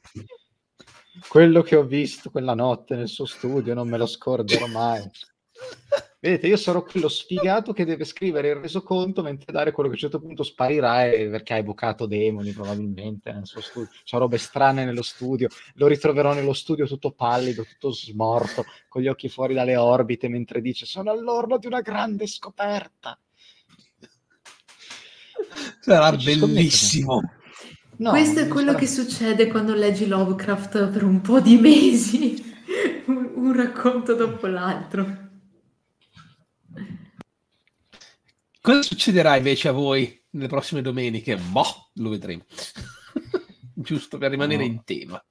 No, non lo so, il mio personaggio ha scoperto di essere incappato nel culto del re in giallo, quindi voglio dire. Tante risate. Mr. Ward però era un pratico uomo d'affari, un industriale del cotone con numerose fabbriche a River Point e alla Pawtuxet Valley, e non era il tipo da dare ascolto alle paure di una donna. Come sempre, sono tutte balle. Il ritratto gli fece una grande impressione, data la somiglianza che aveva con suo figlio, e riteneva che il ragazzo meritasse un regalo simile. Questa opinione, è superfluo dirlo, era condivisa di cuore da Charles. Beh, figliola, volevo pagarti un ritratto, volevo co- commissionare un tuo ritratto come regalo, ma guarda, ce n'è già uno pronto, preciso di uno che evocava divinità eh, che era meglio non evocare e resuscitava i morti, ma insomma si può avere tutto dalla vita, no? Pochi giorni dopo Mr. Ward rintracciò il proprietario della casa, un ometto dalla voce gutturale dalla faccia di roditore, che è Peter Minus, e, ot- eh, e ottenne sia la mensola sia il pannello sovrastante il camino in cui era dipinto il ritratto ad un prezzo che tagliò corto ogni possibile lungo e untuoso mercanteggiamento. Non restava che staccare il pannello e portarlo a casa dei Ward, dove erano stati fatti tutti i preparativi per un suo completo restauro e per l'installazione su un caminetto elettrico nello studio biblioteca di Charles, che si trovava al primo piano. Uè, uè, questo è dove ci sarà la tua roba, nello studio, tuo studio, al primo, al primo piano. Al primo piano, sì. Uh, Charles Third Floor Study. Credo che Third Floor sia il terzo piano. Questi mancano. O il secondo. No, third e terzo. Third e terzo. Eh, ok, ma in America non è il primo piano, il piano terra? Esatto. È vero. Allora Quindi è il piano. secondo piano per i Vabbè, nostri. Ma non, ma non cambia Comunque. niente. Punto. Quindi... Vabbè. Vabbè, lasciamo perdere. Comunque questo sei tu, eh? Lo studio, ti, ti porta il tuo ritratto nello studio. Eh, Dario, come stai? Oh, Al terzo Dio. piano, da me hanno tradotto direttamente, cioè proprio se ne sono ah, fregati okay. al piano terra, primo piano, non ce ne frega niente. Scusa, Sto, comunque Giacomo, adesso nei prossimi mesi, appena è pronto tutto, andiamo a, a scegliere cose della libreria, andiamo via da media o dall'antiquario e ci, vediamo se c'è qualche bel mobile con una storia strana da portarci Poi a casa. Col cazzo. No, no, con le mani, lo compri con i soldi e lo porti con le mani. Non è quello il senso. Non è quello il senso. Roba strana e, e, e, e demoniaca te la porti tu a casa. Io non ci voglio avere niente a che fare. Io non ci voglio avere niente a che fare. Infatti, io sono quello che sopravvive nelle storie di Love. Tu sei quello che invece verrà trascinato via da, da ghoul, da, da, da, demoni, o probabilmente ti, rit- ti ritroveranno ridotto in poltiglia, in gelatina. Eh, ma se soprattutto se mi prendono per il ghoul è un casino, eh. Andiamo avanti, andiamo avanti, perché cominciano già sulle 10.10, giustamente eh, abbiamo ancora tanto da leggere, guardate, abbiamo tantissime Tra poco mi dai il cambio, Sara? Sì, sì, sì, sì, sì. ti dico, okay. eh, guarda, eh, dei luoghi ove diresse di quelli che visito, chi conobbe ciò che apprese. Esattamente lì. Lì è dove, finisce, lì è dove finisce il mio, la parte 2 e poi comincio io. Anche il mio, anche il mio, eh, c'è un punto fisso. Ah, a Charles fu lasciato il compito di sovrintendere alla rimozione e il 28 agosto il ragazzo accompagnò due operai della ditta di decorazioni Croker nella casa in Kurt, dove la mensola e il pannello sovrastante il caminetto furono staccati con grande cura e precisione per essere trasportati con il furgone della ditta. Dietro al ritratto restò uno spazio di mattoni scoperti che segnavano il tracciato della canna fumaria, e lì il giovane Ward osservò una cavità cubica di circa 30 cm di lato, che doveva trovarsi proprio dietro la testa del ritratto. Curioso riguardo a cosa significasse o cosa contenesse quello spazio, il giovane si avvicinò e guardò all'interno. Sotto il profondo strato di polvere di fuliggine, il ragazzo trovò alcuni fogli sciolti e ingialliti, un quaderno rozzo e spesso ed alcuni frammenti di tessuto ammuffito, che forse formavano il nastro che legava foglie e quaderno insieme. Soffiò via la maggior parte della polvere e della cenere, poi prese il quaderno e guardò il titolo, tracciato in una grafia ferma e chiara sulla copertina. Quella scrittura Ward aveva imparato a riconoscerla all'Essex Institute. Il titolo diceva Diario e appunti di Joseph Kerwin, eh, gentiluomo della colonia di Providence proveniente da Salem. E citato oltre ogni limite dalla sua scoperta, Ward mostrò il quaderno ai due operai che gli erano accanto. La loro testimonianza. Guardate, guardate, un antico di... E che me frega, sono venuto a fare il trasloco, signor. che è sta roba? La loro testimonianza sulla natura e sulla genuinità della scoperta è sicura e indubitabile, e il dottor Willett si basa sulle loro affermazioni per corroborare la teoria che il giovane non era pazzo quando cominciò a mostrare le sue eccentricità più rilevanti. No, non era pazzo. Piccolo spoiler, il poveretto non era pazzo, era morto. Era un po' morto. Non era pazzo, era morto. Poveretto. Uh, anche tutte le altre carte erano scritte nella grafia di Kerwen, e una di esse aveva un'aria particolarmente importante a causa del titolo. A colui che verrà dopo e in che modo può andare al di là del tempo e delle sfere. Ho errato fuori dal pensiero e dal tempo, come sempre. Quelli si sono copiati qualcosa. Que- quello qualcosa ha letto, quello qualcosa ha letto, non ce l'aveva in biblioteca ma l'ha preso a prestito quello l'ha preso a prestito, qualcosa ha letto, io non ci casco, qualcosa ha letto, qualcosa. Dai, certe volte le coincidenze sono inquietanti. Un'altra era cifrata. Ward sperava che fosse lo stesso linguaggio cifrato usato da Hutchinson, che fino a quel momento era rimasto impenetrabile. Un terzo foglio, di cui il ricercatore gioì, sembrava la chiave del linguaggio cifrato, mentre il quarto e il quinto erano indirizzati rispettivamente a Edward Hutchinson, nobiluomo, e egregio de Jedediah Horn, oppure ai loro eredi o al loro erede o a coloro che li rappresentano. Il sesto e ultimo portava la seguente intestazione. Joseph Kerwin, la sua vita e i suoi viaggi tra gli anni 1678 e 1687, dove viaggiò, dove soggiornò, chi vide e cosa apprese. India. Abbiamo trovato tutti i documenti del signor ha fatto, Crowell. Ha fatto su, ha, Extreme Success su Spotidden.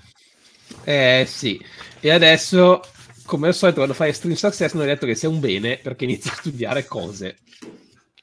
Che forse era meglio non studiare. Uh, professore, lei conosce il dottore americano di racconti di teoria scomparso prematuramente di nome H.P. Lovecraft?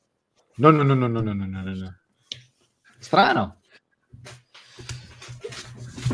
Se volete approfondire i libri che ha letto Tolkien, vi consiglio questo che è del professor di, di Oronzo Cilli, la Tolkien's Library, check, annotati, annotated checklist, che ha dentro, è in due parti, sia i volumi certi che Tolkien aveva, sia quelli eh, supposti in base alle sue citazioni o quant'altro, comunque che aveva letto, magari presi in prestito, chi lo sa, però che lui cita e non erano nella sua libreria. Quindi probabilmente li aveva recuperati per via traverso, comunque li aveva letti ovviamente non sono del o a, a, a, libri supposti da altri studiosi che hanno detto da questo testo si può presumere che abbia letto anche questo, però non ci sono prove. Quindi c'è tutto un, un elenco bellissimo, perfetto. Io Lovecraft ce lo aggiungerei. Sì, Sara? Eh, no, niente. Ho alzato la mano, tra l'altro vi dico il mio braccio mi sembra tipo qualcosa di... Cioè, boh, eh, dismorfia assurda. Eh, no, io mi chiedevo invece se Danseny era tra quelli certi o tra quelli presunti. Lord Answer. Va, vado a cercare subito. Vado a cercare Grazie. subito. Quasi quasi io nel frattempo comincio a leggere, se voi, eh, se i miei colleghi e la chat mi danno l'ok. Se la chat è tutto a posto, non ci sono domande e tutto, possiamo, possiamo proseguire. Uh, è certo perché Dunsany è citato esplicitamente in lettere varie da Tolkien, che ne cita alcune, alcune titoli, opere, e dice l'ho letto molti anni fa. Quindi sì, Dunstan è certo che l'abbia letto, perché è lui stesso che lo dice. Top. Siamo arrivati al punto al quale gli alienisti di scuola più tradizionale fanno risalire la follia di Charles Ward. Dopo la scoperta, il giovane aveva scorso immediatamente alcune pagine del diario e dei manoscritti scorgendovi qualcosa che doveva averlo impressionato moltissimo. Infatti, nel mostrare i reperti agli operai, te- i reperti agli operai aveva esaminato il testo con eccezionale attenzione e gli uomini avevano avuto l'impressione che Ward fosse in preda a uno stato di agitazione che neppure l'importanza antiquaria e genealogica scoper- della scoperta poteva giustificare. Tornato a casa, riferì la notizia ai genitori con un'aria di imbarazzo, come se volesse comunicare la sua estrema importanza senza mostrarne le prove. Si rifiutò di far vedere i documenti e si limitò a dire che aveva trovato certe carte scritte da Kerwin di suo pugno, per lo più in codice, e che richiedevano studi laboriosi per decifrarne il contenuto. È improbabile che Ward avesse mostrato le carte agli stessi operai, ma la curiosità di quelli era stata troppo palese. Stando così le cose, il giovane aveva voluto evitare di mostrarsi reticente per non aumentare l'interesse dei due. Quella notte Charles Ward rimase nella propria stanza a leggere il diario e gli altri documenti e non smise neppure a giorno fatto. Quando sua madre venne a vedere come stesse, Ward la pregò vivamente di mandargli i pasti in camera e così fu fatto. Nel pomeriggio us- uscì solo quando gli uomini vennero a installare il, il quadro di Kerwin e la mensola del camino. La notte seguente dormì solo a tratti, completamente vestito, e per il resto del tempo lottò alla, dec- lottò alla decifrazione del manoscritto in codice. Al mattino sua madre vide che non era al lavoro sulla copia fotostatica del cifrario Hutchinson, che Charles le aveva più volte mostrato. In risposta alle sue domande, egli disse che il codice Kerwin non adoperava lo stesso sistema. Quel pomeriggio il giovane abbandonò il lavoro e osservò affascinato gli uomini che completavano l'installazione del quadro sul realistico caminetto elettrico. La mensola e il fregio superiore furono sistemati in modo da essere un po' discosti dalla parete nord, come se dietro ci fosse la canna fumaria, e i lati furono coperti da pannelli identici a quelli della stanza. Il pannello frontale, quello su cui era dipinto il, il ritratto, fu segato e munito di cardini, in modo da diventare lo sportello di una piccola alcova. Quando gli operai se ne furono andati, Ward trasferì tutti i documenti nello studio e sedette di fronte al camino, con gli occhi ora sul cifrario e ora sul ritratto che lo fissava come uno specchio d'altri tempi, memento dei secoli. Cercando di ricostruire la condotta di Charles in quel periodo, i genitori forniscono interessanti particolari sulla sua nuova reticenza.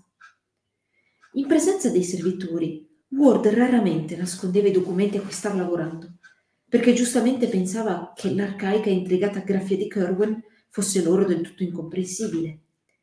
Con i genitori invece era piuttosto circospetto e a meno che il manoscritto in questione fosse in codice o addirittura un ammasso di simboli misteriosi e ideogrammi sconosciuti, come quello intitolato A colui che verrà dopo di me, eccetera, Charles aveva preso l'abitudine di coprire il testo con un foglio di carta fino a quando il visitatore non fosse andato via. Ben presto il giovane riprese le abitudini e gli orari normali, salvo per il fatto che le lunghe passeggiate e gli altri interessi esterni persero l'importanza di una volta. La riapertura della scuola, dove ormai frequentava l'ultimo anno, sembrò costituire per Ward un grande fastidio e più volte affermò di non avere alcun interesse a iscriversi all'università. Doveva, doveva compiere una serie, una serie di ricerche speciali, disse, che gli avrebbero aperto molte più strade verso la conoscenza e le scienze umane di qualsiasi università sulla faccia della terra. Scusate, l'ho letta male. Che gli avrebbero aperto molte più strade verso la conoscenza e le scienze umane di qualsiasi università sulla faccia della terra. Solo un individuo che era sempre stato più o meno noto come uno studioso, un eccentrico e un solitario avrebbe potuto permettersi un comportamento del genere senza destare sospetti per molti giorni. Per fortuna, Ward era un eremita e un uomo di studio per sua intima costituzione. I genitori, quindi, furono meno sorpresi che dispiaciuti dal comportamento furtivo, quasi da recluso, che il ragazzo aveva adottato. Inoltre, sia il padre che la madre Trovavano strano che Charles non li rendesse partecipi delle sue magnifiche scoperte e non rivelasse ciò che aveva decifrato fino a quel momento. Ward si difese spiegando che voleva aspettare fino a quando potesse annunciare qualcosa di concreto, ma col passare delle settimane e in assenza di qualsiasi confidenza fra il giovane e la famiglia, cominciò a formarsi una sorta di malinteso che nel caso della madre era acuito dalla sua intensa disapprovazione per tutto ciò che aveva a che fare con Corwin. Nel mese di ottobre Ward riprese a frequentare le biblioteche, anche se non più per arricchire le sue conoscenze antiquarie come una volta. Gli argomenti che lo occupavano adesso erano stregoneria e magia, occultismo e demonologia, e quando le fonti disponibili a Providence si dimostravano insufficienti, Prendeva il treno per Boston e andava a soddisfare la sua curiosità nella grande biblioteca di Copley Square, nella Widener Library della Harvard, oppure alla Zion Research Library di Brookline, dove erano disponibili rari testi di argomento biblico. Scusate, Sippino.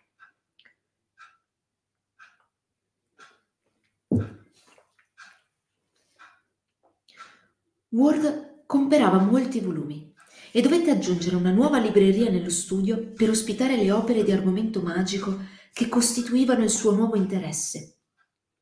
Durante le vacanze di Natale, poi, fece una serie di viaggi fuori città, compresa un'escursione a Salem per consultare certi documenti custoditi all'Essex Institute. Verso Comunque, lui che, lui che cerca libri eh, strani deve comprare un'altra libreria per raccogliere i libri. Mi se... Qui ci starebbe il meme di, uh, di, Sherlock, eh, sì, di Sherlock Cosmonotte, di Cherry Scotti, ma sta parlando di me, è la mia vita. Ah, ok, nel... ok, perché ho detto scusa, perché va a prendere Cherry Scotti quando è Dario praticamente? Esatto, ma sta Dio, parlando ma di, parla di di me.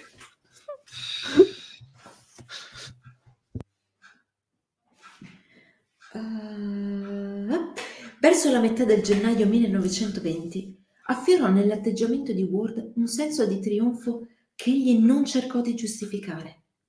Sa, sta di fatto che nessuno lo vide più al lavoro sul cifrario Hutchinson. Fu in quel periodo che il giovane si dedicò a una nuova serie di ricerche chimiche e storiche. Per le prime attrezzò un laboratorio nell'attico di casa ormai in disuso, mentre per le seconde attinse a, le, a tutte le fonti documentate e statistiche di Providence. I rivenditori locali di farmaci e apparecchi scientifici, interrogati in seguito, fornirono elenchi straordinari, ma privi di significato delle sostanze e degli strumenti che Charles Ward aveva ordinato. Viceversa, gli impiegati della State House, del municipio e di alcune biblioteche concordano sull'oggetto ben preciso del secondo interesse. Ward cercava con un'intensità addirittura febbrile la tomba di Joseph Kerwin, dalla cui lapide, una generazione dopo, era stato saggiamente cancellato il nome. A poco a poco i genitori si convinsero che c'era qualcosa che non andava. Già in passato Charles si era comportato stranamente e aveva cambiato interessi, ma sempre in cose di poco conto. La crescente segretezza la profondità con cui era assorbito dalle sue strane ricerche non erano normali neppure in un tipo come lui. Il lavoro scolastico era, era ormai ridotto al minimo e benché Charles riuscisse a non prendere insufficienza nei compiti, era chiaro che l'applicazione di una volta era svanita. Altre sembravano le sue preoccupazioni, e quando non era in laboratorio con una ventina di vecchi trattati alchemici, lo si poteva trovare immerso sugli antichi certificati di sepoltura della città o incollato ai volumi dell'occulto che accumulava nello studio, dove il volto di Joseph Kerwin, che gli somigliava in modo straordinario e si sarebbe detto sempre più accentuato, lo fissava blandamente dal grande fregio che sovrastava il camino sulla parete nord. Verso la fine di marzo, alle ricerche condotte negli archivi Ward, alle, alle ricerche condotte negli archivi, Ward affiancò una serie di macra, macabre spedizioni negli antichi cimiteri della città. La causa fu evidente in seguito, quando da impiegati del municipio si apprese che il giovane aveva trovato probabilmente un indizio importantissimo. Le ricerche si erano improvvisamente spostate dalla tomba di Joseph Kerwin a quella di un certo Naftali Field, cambiamento che si spiegò quando gli investigatori, esaminando le informazioni riesumate da Ward, scoprirono che il frammento di una testimonianza che riguardava la tomba di Kerwin ed era sfu- scoprirono il frammento di una testimonianza che riguardava la tomba di Kerwin ed era sfuggito alla generale cancellazione. Secondo questo frammento, la bizzarra barra di piombo sarebbe stata interrata dieci piedi a sud e cinque piedi a ovest della sepoltura di Naftali Field, Nello. Il frammento non specificava in quale cimitero si trovasse la fossa in questione, il che complicava notevolmente le ricerche. La tomba di Naftali Field sembrava elusiva come quella di Kerwin, ma nel suo caso non era stato fatto alcun tentativo di nasconderne l'ubicazione. Anche se i relativi documenti erano andati perduti, ci si poteva ragionevolmente aspettare di imbattersi nella lapide vera e propria. È questa la ragione dei vagabondaggi di Ward, da cui furono esclusi soltanto il caposanto di, Son- di St. John, ex King's Churchyard, e l'antico got- lotto congrega- e l'antico lotto congregazionalista nel mezzo del cimitero di Swan Point, perché altri documenti avevano dimostrato che Naftali Field, deceduto nel 1729, era stato di confessione battista. Uh, da, questa dovrebbe essere la fine del terzo, giusto? Sì, adesso parte il quarto. Eh, prima di andare, scusate, è venuto in mente perché si parla di testi antichi. Eh, è una notizia che mi, che mi è capitata sott'occhio eh, qualche settimana fa, ma volevo, volevo dirla, mi sono dimenticato. Sembra che finalmente, eh, qualche mese fa, si sia in, iniziato a decifrare qualche una parola o poche più di, dei papiri bruciati di Ercolano. Quindi Quindi niente, si parlava di documenti antichi. Volevo dire, darvi questa grande notizia. Quindi, Perfetto, no, per un attimo ho detto avevano cominciato a decifrare Voynich. Eh, lì, lì No, no, hanno, usa- hanno usato uh, l'intelligenza artificiale a- in modo buono e hanno messo i, i dati a disposizione di, di, tutti e si è riuscito a-, a capire porpora da uno dei papiri bruciati senza srotolarli. Quindi, dai, tra qualche secolo magari avremo tutti i documenti trovati. Eh, I nostri pro, pro, pro nipoti No, però comunque è una bella scoperta a livello archeologico. Anche perché sono, sarebbero, se, no, se riusciamo a vedere cosa c'è dentro, sono tra i pochissimi documenti romani di epoca romana che ci sono pervenuti, dato che la maggior parte anche dei classici li abbiamo in copie medievali, quindi sarebbe fico, sarebbe molto fico. Eh sì. E niente, soltanto per dirveli. No, no, è una notizia interessante, ci mancherebbe.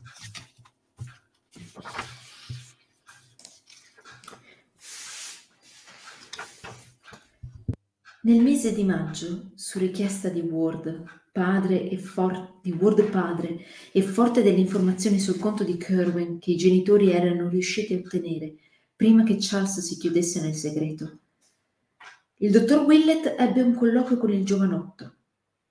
La discussione non approdò molto, perché il dottore ebbe la sensazione che Charles fosse del tutto padrone di sé e si occupasse di questioni molto importanti.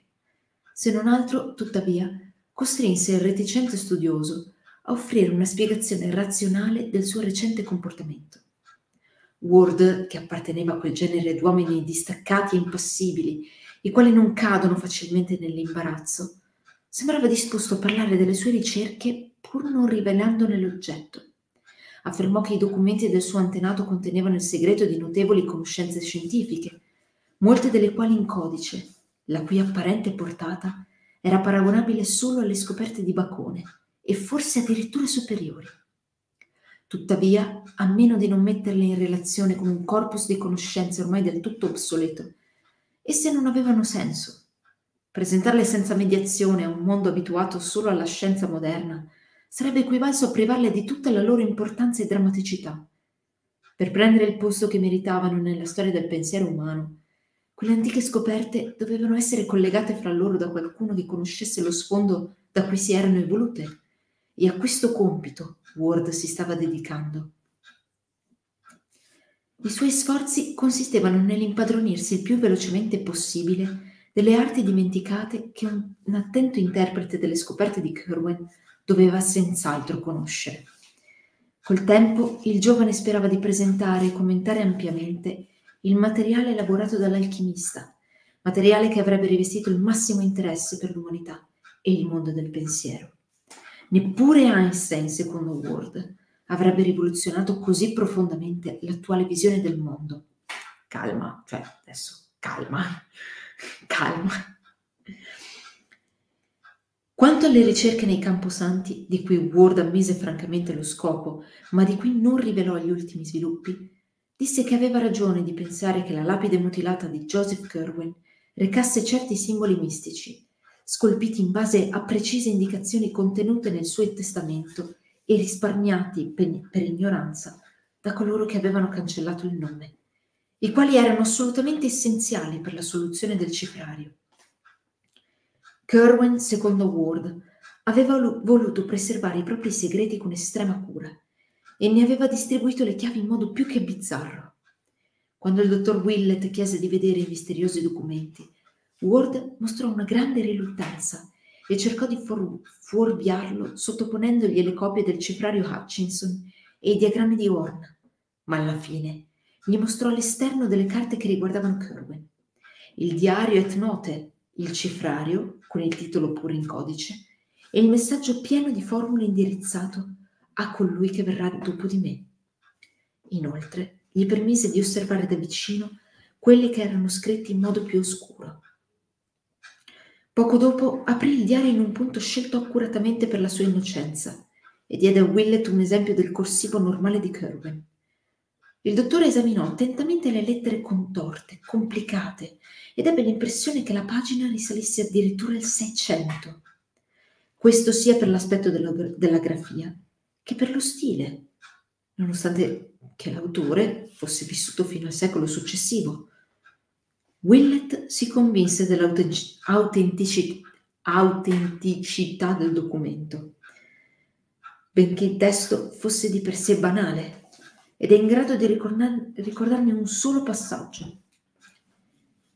Mercoledì 16 ottobre 1754. Quest'oggi la mia corbetta Wakeful arrivò da Londra con 20 nuovi uomini raccolti nelle Indie, spagnuoli della Martinica e due olandesi del Surinam. Codesti olandesi sembrano ansiosi di desertare, avendo udito cose malevole a proposito dei nostri affari. Io, però io vedrò di persuaderli a restare. Merci portate per il signor Knight Dexter dell'esercizio Bay and Book. 120 pezzi di cammello, 100 pezzi tipo cammello, 20 pezze blu per giacche pesanti, 100 pla- pezze flanella, 50 pezze calico, 300 pezze ciascuna di tessuti misti. Comunque io voglio solo dire che le 100 pezzi di flanella in realtà le cose sono solo 50 perché la flanella essendo più grossa raddoppia.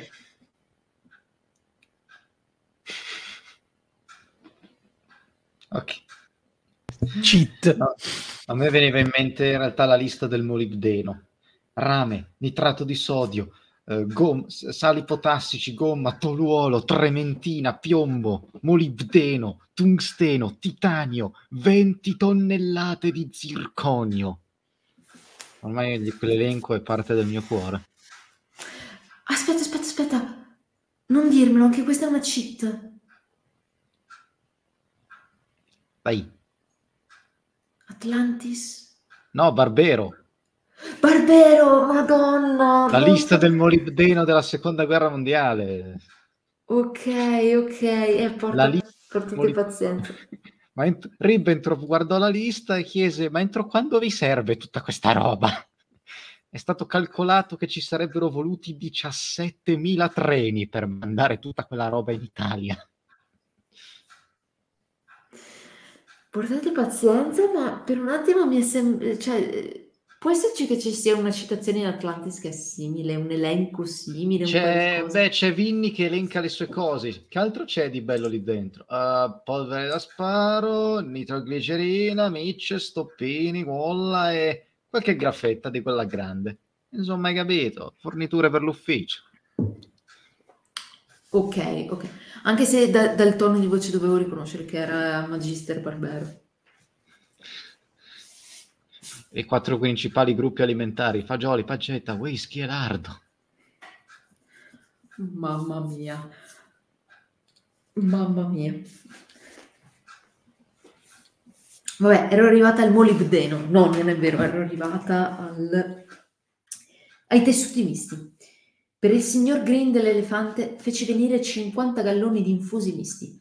Per il signor Berrigo numerose combinazioni di spezie. Tre volte dissi il Sabbath la notte scorsa, ma non apparve alcuno. Più devo apprendere dal signor H in Transilvania. Scusa un secondo. Eh, de- de- per il signor Green soltanto 50 galloni. Ci fece venire 50 galloni di infusi misti per il signor Perrigo numerose combinazioni. No, perché qui nel- nella mia versione c'è un intero elenco anche per il signor Green. Eh, 15 eh, bake cattles, che non so cosa, torte, non so. Eh, 10 e adesso non saprei tradurre neanche io. Questa, cosa, sta roba non saprei tradurla, dovrei fare delle ricerche. Però c'è un elenco di quattro cose anche per il signor Green. Era soltanto per farvi per dirvelo. Ok, ringraziamo il traduttore. Secondo me ha tolto proprio perché non sapeva tradurre nemmeno lui. Barra lei.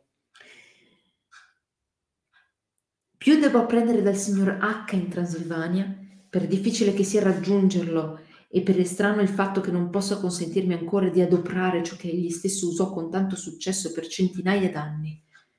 Simone non mi scrive da cinque settimane e però aspetto di, aspetto di sentire al più presto sue notizie. Quando arrivato a questo punto il dottor Willett voltò pagina, Ward lo afferrò bruscamente e gli strappò quasi il diario di mano. Tutto ciò che il dottore riuscì a vedere sulla pagina appena aperta fu un paio di brevi frasi, che fatto abbastanza strano, rimasero tenacemente impresse nella sua memoria. Eccole. Avendo recitato i versi del Liber Damnatus per cinque Natali e quattro vigilie d'ogni, d'ogni santi, spero che l'essere sia già cresciuto nelle, nelle esterne sfere. Esso guiderà colui che deve venire, lo quale si darà grande pensiero per le cose del passato e saprà guardare indietro negli anni. E perciò io devo avere pronti i sali o la materia da cui sono fatti. Willet non vide altro, ma quell'unica occhiata gli trasmise un nuovo, un nuovo e vago terrore del ritratto di Kerwin, che le guardava blandamente dal fregio sul camino. Anche in seguito il dottore conservò la, bis- la bizzarra sensazione che la sua preparazione medica gli garantiva essere soltanto un'illusione, secondo cui gli occhi del ritratto avessero il desiderio, se non una vera e propria tendenza, a seguire il giovane Ward quando si muoveva nella stanza che ansia, tipo...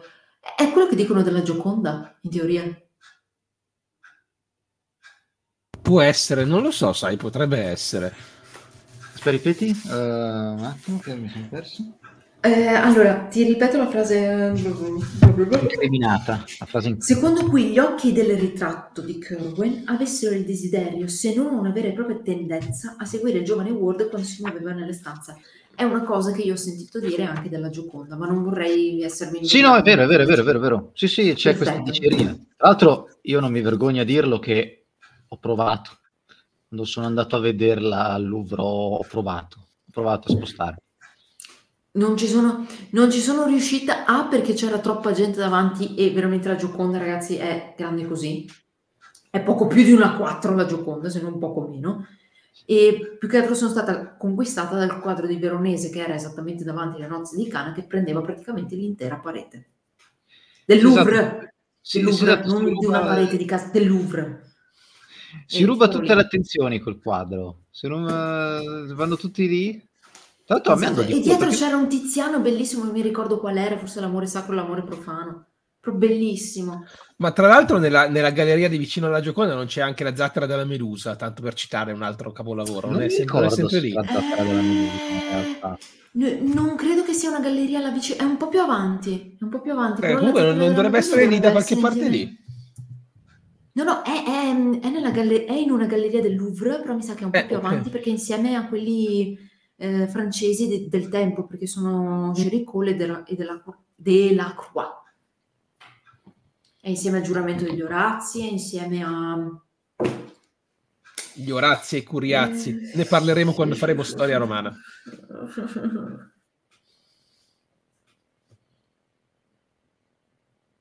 Che succede? Eccomi, no, scusate. Eccomi, sono qua, sono qua, sono qua. Sara? Sara? No! Sara? No! No! Ecco, questa è la faccia che fa Sara quando la connessione fa così. Ecco, questa è una diapositiva di Sara quando si rende conto che la connessione fa la stronza di nuovo. Notate, è successo oh. quando ho iniziato a nominare gli artisti francesi. Coincidenze? No, n- non c'entra niente. Io non credo. non c'entra niente.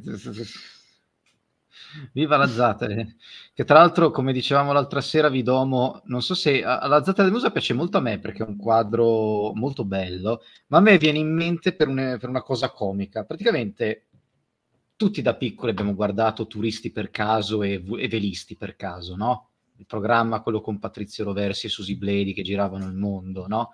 Dovevano fare velisti per caso, dopo turisti, cioè andare in giro con la barca a vela e c'era la gag di Patrizio Roversi che diceva ma io non sono tanto sicuro di andare in giro in barca perché mi vedo già come nella zattera della Medusa e inquadravano la zattera della Medusa dove c'è questo personaggio che è così effettivamente sembra Patrizio Roversi. Io, io ho i flashback mi immagino già come i naufraghi della zattera della Medusa. E mi è rimasto, il quadro mi è rimasto impresso per questo motivo qua. Poi vabbè quadro bellissimo ovviamente. Un quadro molto bello la zattera della Medusa però mi è rimasto impresso questa vaccata qui, con lui che mi mente una città diversa con Asterix Obelix Missione Cleopatra. Quella non me la ricordo, ma il film o il cartone? Il film, quello con Depardieu, credo. Sara è caduta, adesso arriva, non vi preoccupate.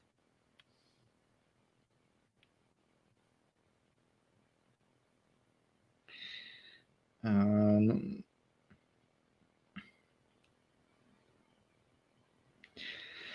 eh, che in- nel cartone animato c'erano i, i pirati che li riconoscono e si affondano la nave da soli, con Obelix che dice, "Oh, ehi, i nostri amici pirati, oh mio Dio, quei galli, abbattiamoci la nave da soli.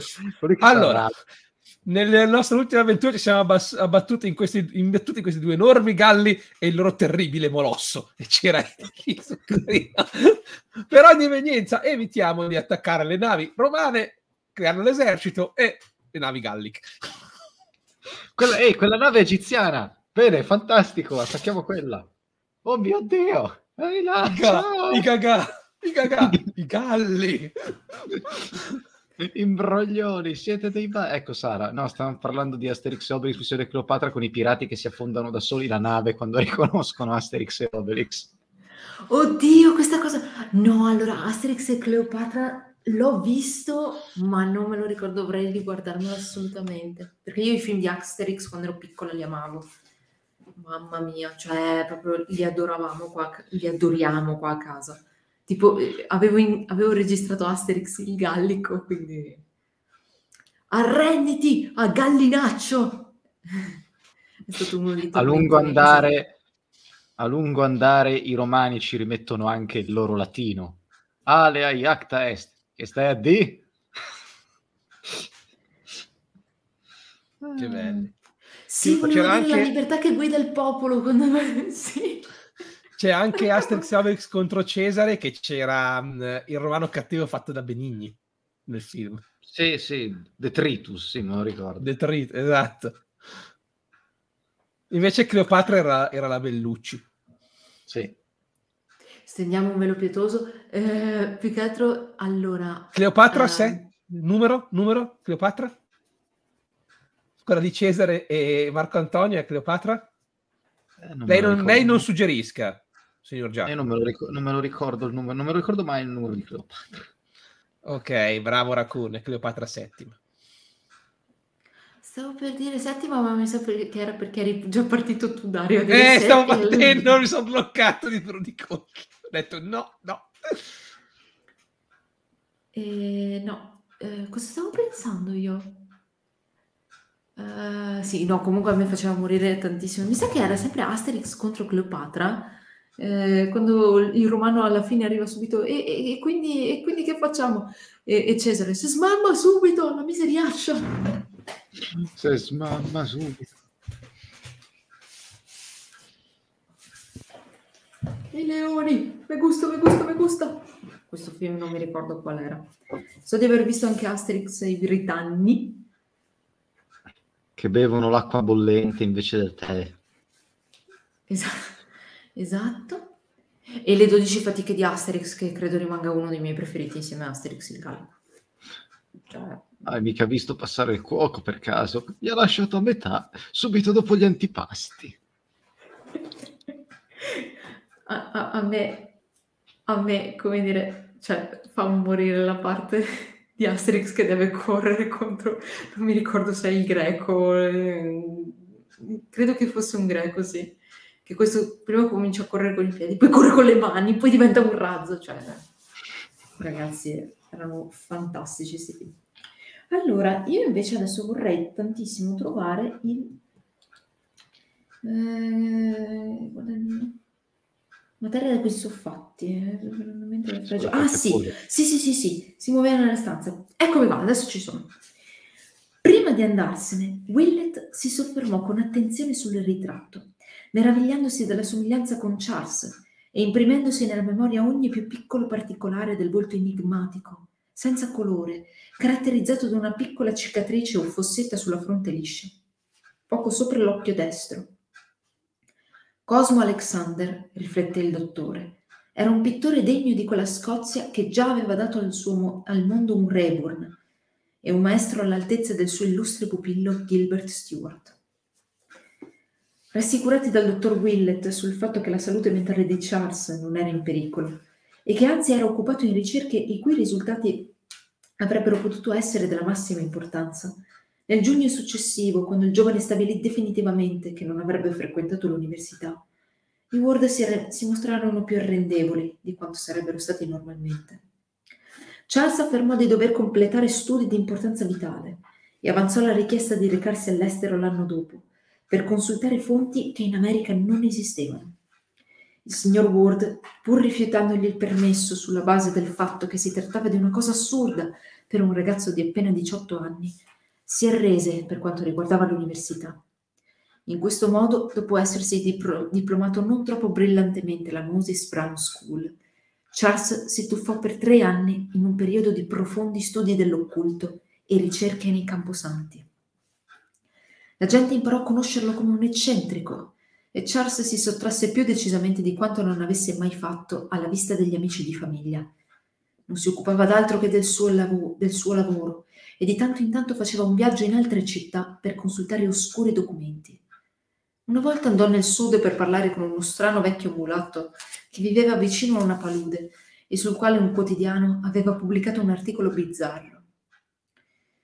In un'altra occasione Charles visitò un villaggio degli Adirondack da cui erano giunte notizie di misteriose pratiche rituali.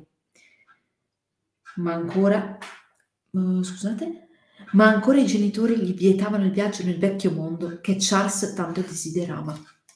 Scusate, controllo un attimo il computer che non stia già ok. Divenuto maggiorenne nell'aprile, nell'aprile 1923 e avendo ricevuto già da qualche tempo una piccola eredità dal nonno materno, Ward decise finalmente di compiere il viaggio in Europa, che fino ad allora gli era, sta- gli era stato negato. Nulla rivelò sull'itinerario che aveva deciso di seguire, ma si limitò ad ammettere che per necessità di studio avrebbe dovuto recarsi in numerosi luoghi, in numerosi luoghi e promise che avrebbe scritto tutti i particolari ai genitori. Quando videro che era impossibile dissuaderlo, il signor Ward e sua moglie abbandonarono ogni, abbandonarono ogni tentativo d'opposizione e lo aiutarono come meglio potevano, sicché a giugno il giovane si imbarcò per Liverpool. Il padre e la madre gli fecero tutti i loro auguri e lo accompagnarono a Boston, dove videro la nave allontanarsi dal molo della Stella Bianca a Charlestown. Non passò molto tempo che gli giunsero notizie dell'arrivo di Charles in Inghilterra e dell'appartamento che aveva preso in affitto in Great Russell Street, a Londra. Lì decise di restare evitando accuratamente gli amici di famiglia, fino a quando non avesse esaminato tutte le fonti del British Museum in un certo settore. Della sua vita quotidiana Ward parlava poco, anche perché c'era poco da dire. Lo studio e gli esperimenti assorbivano tutto il suo tempo. E una volta accennò al laboratorio che aveva attrazzato in una stanza dell'appartamento. Il fatto che non menzionasse eventuali passeggiate antiquarie nella vecchia città irta di cupole e guglie affollata di strade e stradine, il cui fantastico intreccio e i cui improvvisi scorci di panorama invitavano e sorprendevano il visitatore. Comunque, dei... eh, prima c'era Molo White Star, la White Star era la compagnia marittima proprietaria del Titanic, tra le varie cose.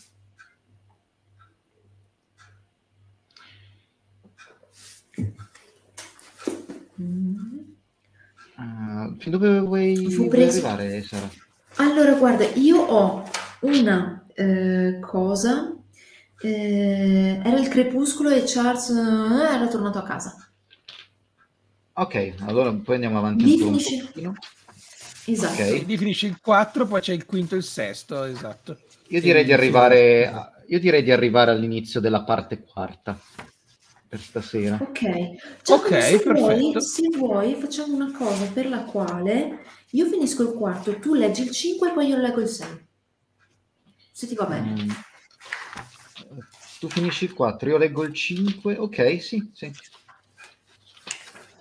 Perfetto, Sì, tanto veramente 5 e 6 sono corti, ragazzi. Dai, Cioè, va benissimo. Veg, ehm, avete pazienza di arrivare almeno fino alla fine di questo capitolo, chiamiamolo, chiamiamolo così.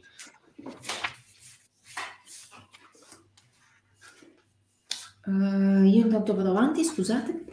Fu preso dai genitori come buon segno dei nuovi interessi che avevano assorbito la mente del giovane.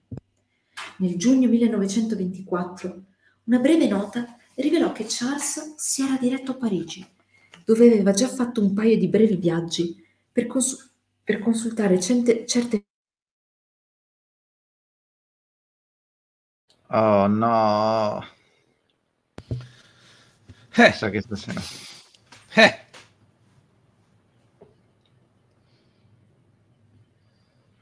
Allora, allora, aspetta un po' che vado, vado io allora magari. Allora, po, po, po, po. tolgo un attimo. Ok. Eravamo arrivati, i genitori ritennero che fosse un particolare indicativo. Mm-hmm. Giusto? Sì. Nel giugno del 24. Ok. Nel giugno del 1924 un conciso biglietto comunicò la sua partenza per Parigi, dove si era già recato in due fuggevoli occasioni per consultare del materiale nella Bibliothèque Nationale. Si dice francese proprio, io che non lo parlo da vent'anni. Nei tre mesi successivi inviò solo cartoline postali, in cui forniva un indirizzo in Rue Saint-Jacques e accennava ad una ricerca particolare tra i manoscritti rari della biblioteca di un collezionista privato di cui non diceva il nome. Evitò i conoscenti e nessun turista ritornò con sue notizie.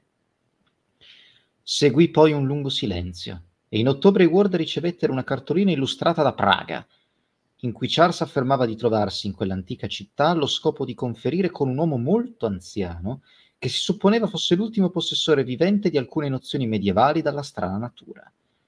Diede un indirizzo della parte nuova, que- de- della, parte nuova della città e non annunciò nessun trasferimento fino al gennaio seguente, quando spedì numerose cartoline da Vienna, in cui diceva di essere di passaggio da lì, diretto verso una regione più orientale, dove era stato invitato da uno dei suoi corrispondenti e colleghi nello studio di materie occulte. La cartolina seguente proveniva da Klausenburg, in Transilvania. In Transilvania? Ecco Sara, eccola. Eccomi, pardon, non, non ho capito cosa fosse successo, cioè, mm, boh. Scherzi No, della perché Sono arrivato c'è a mai- Transilvania. Perfetto, ho visto, ho visto. Transilvania, no? Lui taglia mani e piedi, strappa occhi di orbite e impala nemici su pali. Però erano meritato.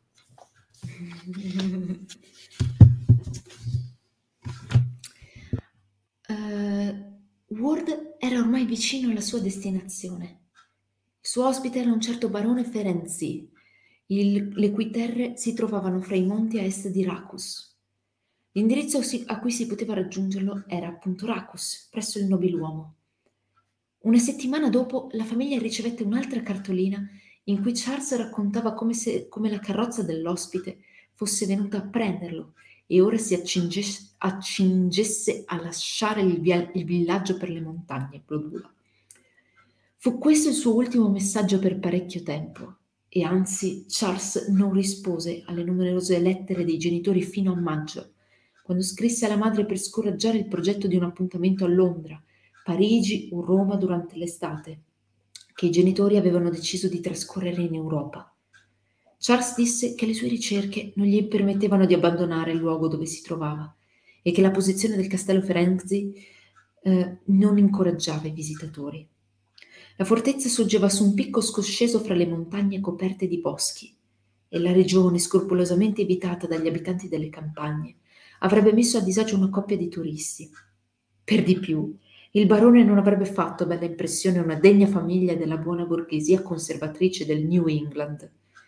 I suoi modi e il suo aspetto erano peculiari e la sua età così avanzata da essere inquietante. Sarebbe stato meglio, osservò, Charles, che i genitori lo aspettassero a Providence. Ormai la data del ritorno non era lontana.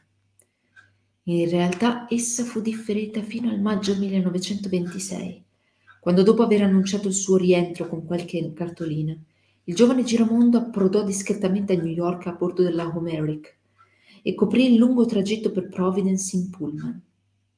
Gustò avidamente il paesaggio di verdi colline, i frutteti profumati e in fiore, le città del vecchio Connecticut con i campanili bianchi. Il suo primo assaggio dell'antico New England dopo circa quattro anni. Quando l'autobus attraversò il Po- ed entrò nel Rhode Island nell'oro, nell'oro fatato di un pomeriggio di primavera inoltrata, il cuore di Ward prese a battere più forte. L'ingresso a Providence lungo la Reservoir e la Elmwood Avenue fu una cosa meravigliosa, da lasciarlo senza fiato, nonostante gli, nonostante gli anni trascorsi a contatto sempre più intimo con argomenti più proibiti. Nell'alta piazza dove confluiscono Broad, Weybosset ed Empire Street, Charles vide davanti a sé in basso, nel fuoco del tramonto, le piacevoli case dei suoi ricordi, le cupole e i campanili dell'antica città.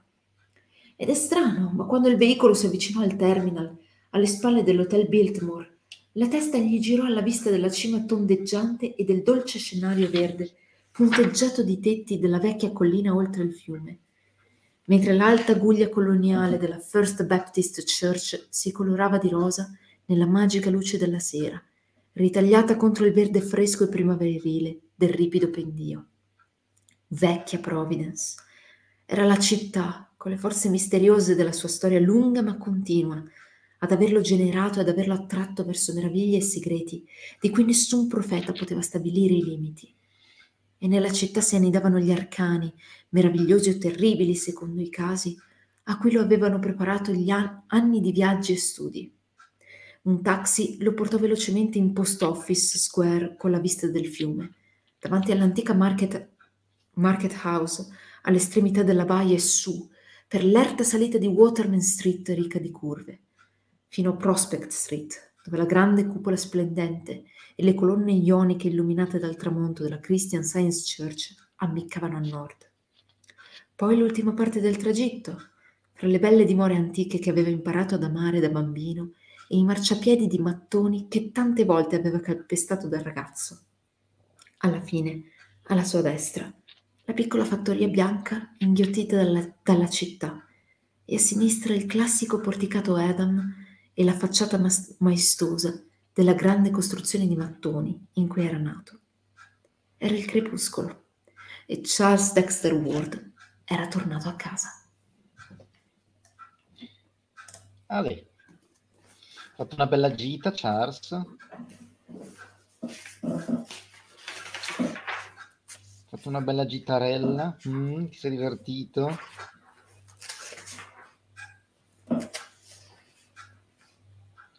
Allora, aspettate un attimo. Prego.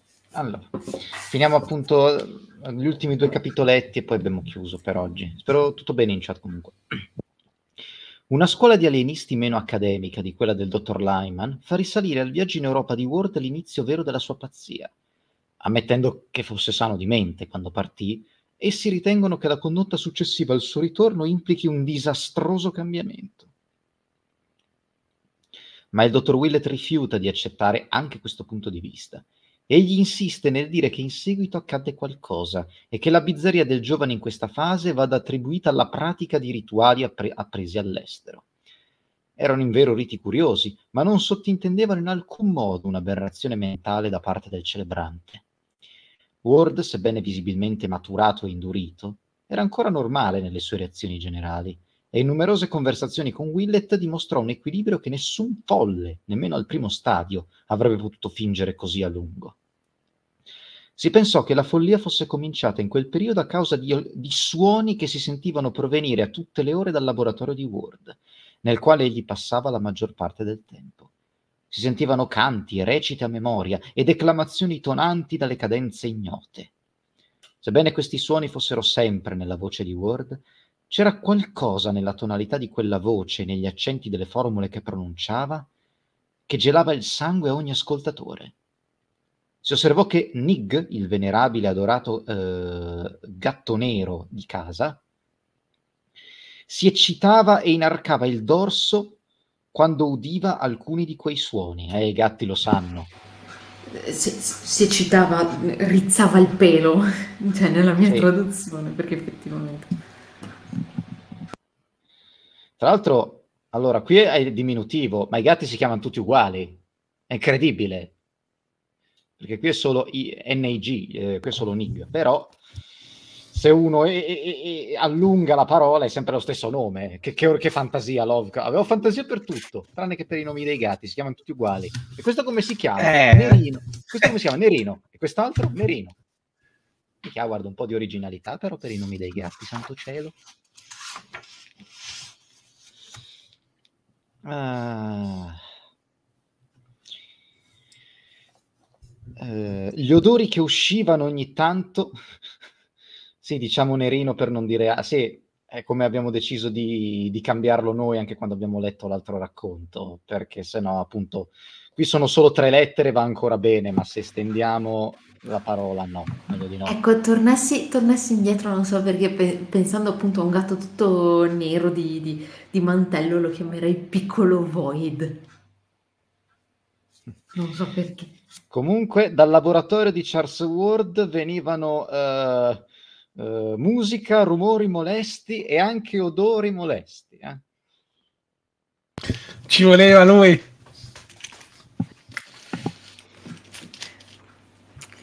Chi va per quattro anni in Europa e al mattino mangia pasta con le sarde, vuol dire che l'indomani non avrà un cazzo da fare. Giusto. O forse non doveva fare un cazzo. Ecco. Gli odori che uscivano ogni tanto dal laboratorio erano altrettanto strani. Eccoli qua, odori molesti. Eccoli qui. Odori molesti, anche odori molesti, eh? A volte erano nauseanti, ma più spesso erano olezzanti, con una sfumatura ossessiva, sfuggente, che sembrava avere il potere di indurre immagini fantastiche. ah, guarda, è un gatto bianco di Angora, o Angora. Si chiama Nerino uguale. È un gatto tigrato arancione, si chiama Nerino. Ah, guarda, tu non stai bene. Sì, e te ne accorgi solo adesso. Ah, guarda, tu non stai bene. Lo so. Quindi spezie, misture, erbe di radice, tipo Messico, no? Per citare Richard Benson, erbe... Io, me, io mi immagino tipo...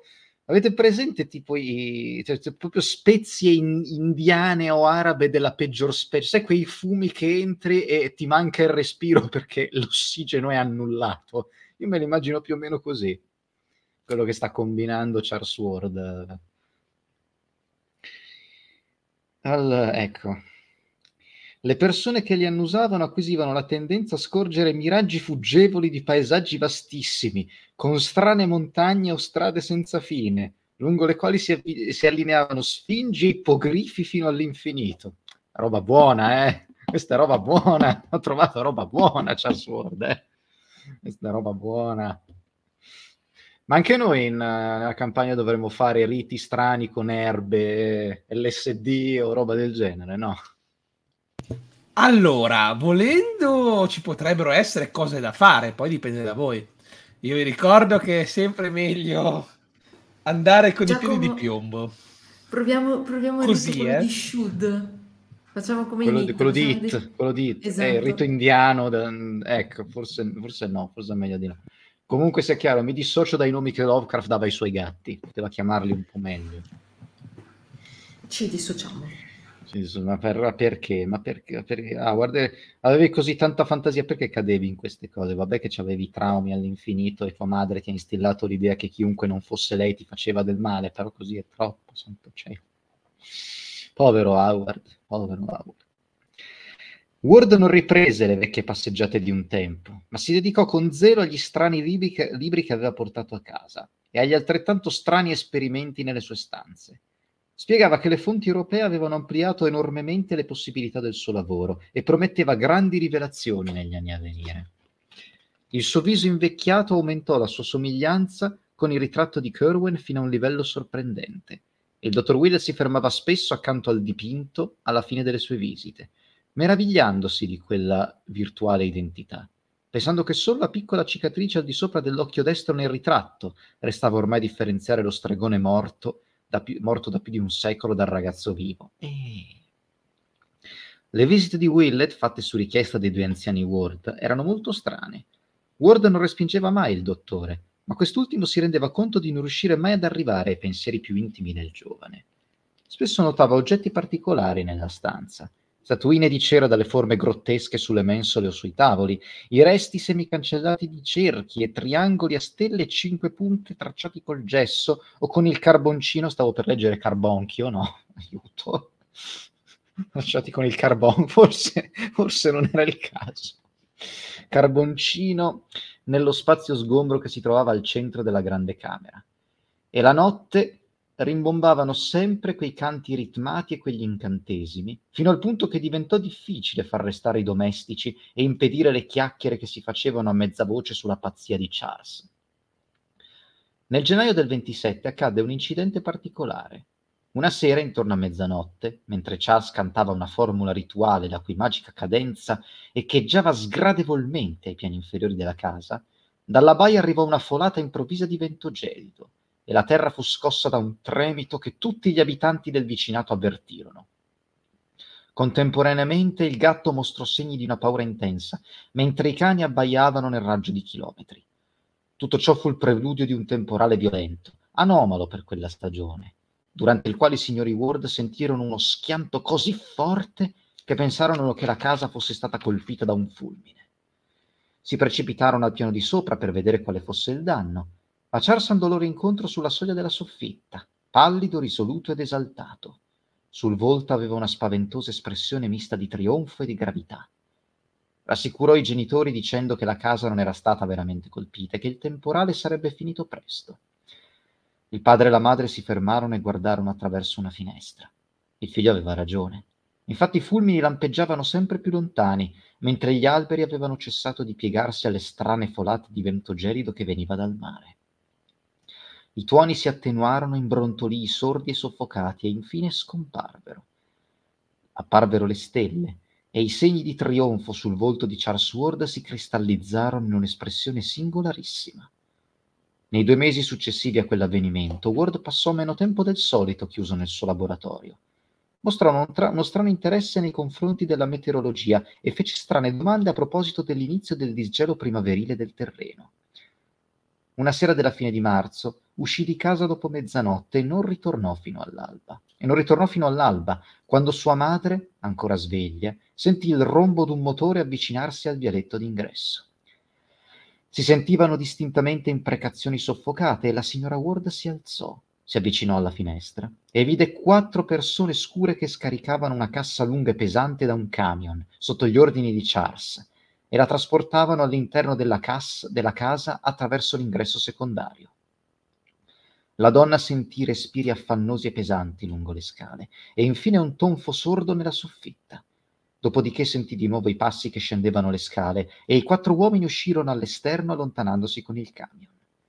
Il giorno seguente Charles ritornò al suo stretto isolamento nella soffitta tirò le tende scure che erano nelle, alle finestre del laboratorio e cominciò a lavorare su qualche sostanza metallica. Non apriva la porta a nessuno e rifiutava con ostinazione tutto il cibo che gli veniva offerto. Verso mezzogiorno si sentì un suono lacerante seguito da un grido terribile da un tonfo. Ma quando la signora Ward bussò alla porta, suo figlio rispose dopo qualche tempo con una voce flebile e le disse che andava tutto bene. Il tanfo orrendo indescrivibile che usciva dal laboratorio era assolutamente in, uh, innocuo e sfortunatamente inevitabile. La solitudine era essenziale ed egli si sarebbe fatto vedere solo all'ora di cena. Quel pomeriggio, quando cessarono alcuni strani sibili che provenivano da dietro la porta chiusa, il giovane finalmente riapparve. Aveva un aspetto esausto e ordinò di non entrare nel laboratorio per nessun motivo. Questo in effetti fu l'inizio di una nuova tattica di segretezza. Infatti da allora in poi non fu permesso più a nessuno di entrare sia nella misteriosa stanza da lavoro nella soffitta, sia nel magazzino adiacente che il ragazzo aveva sgomberato, ammobiliato alla meglio e aggiunto al suo inviolabile dominio privato come camera da letto. In quella stanza visse, con i libri portati dalla sua biblioteca del piano inferiore, finché non acquistò il capanno a Potaxet e vi si trasferì con tutte le sue attrezzature scientifiche. Quella sera Charles si impossessò del giornale prima dei familiari e ne danneggiò una parte, apparentemente per caso. In seguito il dottor Willett, determinata la data... Uh... da dove veniva quell'irrefrenabile odore di decomposizione? Forse dalle sue mutande? Forse il giovane Ward aveva nascosto un cadavere da qualche parte? Sì. Spoiler, sì, è andato a rubacchiare i morti. Ecco. In seguito il dottor Willett, determinata la data sulla base delle affermazioni dei vari membri della casa, cercò una copia intatta nell'archivio del journal e trovò nella parte distrutta da Charles il seguente articoletto. Scavatori notturni sor- sorpresi nel cimitero settentrionale. Soliti ignoti col sistema del buco rubano pasta ai ceci. No, è un'altra cosa. Non hanno rubato pasta ai ceci stavolta, no. Robert Hart, guardiano notturno nel cimitero settentrionale, questa mattina ha scoperto un gruppetto di uomini con un camion nella parte più antica del cimitero, ma li ha spaventati prima che riuscissero a portare a termine il loro compito, qualunque esso fosse. La scoperta è avvenuta intorno alle 4, quando l'attenzione di Hart è stata attirata dal rumore di un motore all'esterno del suo capanno. Quando è uscito per indagare, ha visto un grande camion sul viale principale a parecchi metri di distanza. Ma il rumore dei suoi passi ha rivelato la sua presenza prima che riuscisse ad avvicinarsi. Gli uomini hanno sistemato in fretta una grande cassa sul camion e si sono allontanati verso la strada prima che il guardiano li raggiungesse. E dal momento che nessuna tomba è stata toccata, Hart crede che la loro intenzione fosse di seppellire la cassa. Gli scavatori devono aver lavorato a lungo prima di essere scoperti, perché Hart ha trovato una grande fossa scavata a una notevole distanza dalla strada, nella zona di Amosa Field, dove la maggior parte delle vecchie lapidi sono da lungo tempo scomparse. Il buco, largo e profondo quanto, quanto una tomba, era vuoto e non corrisponde a nessuna tomba elencata dei registri del cimitero. E hanno trovato il cadavere di Joseph Kerwen e se lo sono portati a casa. Il sergente Riley del secondo distretto si è recato sul posto ed ha ipotizzato che il fosso sia stato scavato da contrabbandieri che astutamente cercavano un nascondiglio sicuro, anche se alquanto macabro, per i loro liquori. Ah sì, siamo in pieno proibizionismo, ovviamente, siamo negli anni venti. In un luogo dove era difficile che fossero trovati. Interrogato, Hart ha detto che gli è parso che il camion fosse ridiretto verso Rochambeau Avenue, sebbene affermi di non poterne essere del tutto certo. Nei giorni seguenti, Charles fu visto di rado dalla famiglia. Da quando aveva aggiunto anche una stanza da letto al suo reame, conduceva una vita completamente appartata. Ordinava che il cibo gli fosse portato dietro la porta e lo prendeva solo quando i servi si erano allontanati. Il ronzio delle monotone formule e i canti dai ritmi bizzarri si ripetevano ogni tanto, mentre invece a volte si sentivano tintinnii di vetro, sibili di sostanze chimiche, acqua che scorreva e il crepitio del gas acceso, odori di natura indefinibile, quindi appunto odor- rumori molesti, odori molesti, di tutto e di più. Completamente diversi da quelli notati fino a quel momento, aleggiavano a volte intorno alla porta e l'area di tensione che si poteva osservare nel giovane recluso ogni qualvolta si avventurava fuori per qualche minuto era tale da provocare le supposizioni più assurde. Una volta fece una veloce spedizione nell'Ateneum per un libro di cui aveva bisogno e un'altra soldò un fattorino che gli andasse a prendere un misteriosissimo volume a Boston. Tutta quella situazione provocava un'ansia e un'attesa spaventose e sia la famiglia sia il dottor Willett ammettevano di non sapere cosa fare o cosa pensare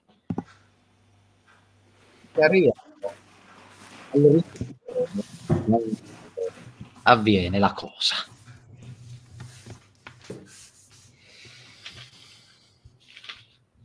Il 15 aprile si ebbero nuovi e bizzarri sviluppi. Niente era cambiato nella sostanza, ma l'intensità del mutamento fu radicale e il dottor Willett vi attribuisce grande importanza. Era venerdì santo, circostanza che i servitori mettono in grande risalto ma che altri si limitano a giudicare una coincidenza irrilevante. Nel tardo pomeriggio, il giovane Ward cominciò a ripetere ad alta voce una certa formula, bruciando contemporaneamente una sostanza così acre che i fumi si diffusero in tutta la casa. La litania era perfettamente udibile nel corridoio oltre la porta chiusa e la signora Ward non poté fare a meno di mandarla a memoria mentre aspettava e ascoltava, in preda all'ansia. In seguito, su richiesta del dottor Willett, fu in grado di trascriverla. La riportiamo qui di seguito, avvertendo che alcuni esperti hanno rivelato al dottor Willett che qualcosa di molto simile appare negli scritti esoterici, esoterici di Eliphas Levi, lo studioso del mistero che è riuscito a penetrare in un'apertura della porta proibita e a contemplare le visioni spaventose del vuoto cosmico. Per Adonai Elohim, Adonai Jehovah, Adonai Sabaoth, Metratron on Aglamathon, Verbum Pythonicum, Verbum Pythonicum, Mysterium Salamandre, Conventus Silvorum, antra nomorum, demonia celi Dio, al monsin, Gibor, Jehosua, Evam, Zariath Namik, Veni, Veni, Veni. Sembra la, la, la, la, messa, quella di Amici Mietto terzo, Papa e Satan, Papa e Satan. esatto, qui evochiamo cose dallo spazio profondo. Che bello è Lovecraft. Nomi, sì, ma tantissimi nomi a me ricordano, cioè mi viene da pensare a, eh, alla religione ebraica. Ma infatti molti sono Elohim. ebraici. Esatto, Adonai che è Signore, Jehovah. Sì, sì, la prima parte è tutta, è tutta ebraica. Anche Yeshua, esatto, parola... il nome di, Poi c'è qualcosa di, di Gesù.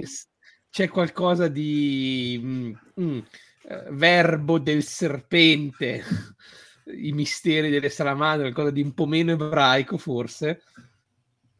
C'è qualcosa di romano, di, di antico, quindi il, eh, l'insieme dei boschi, gli antri del sapere ho letto Perché... giusto Gnomorum, allora, perfetto, perfetto. Eh, ogni tanto qualcosa lo becco anche io. La cantilena proseguì per circa due ore senza cambiamenti o intervalli. Dopodiché nel vicinato i cani scatenarono un pandemonio.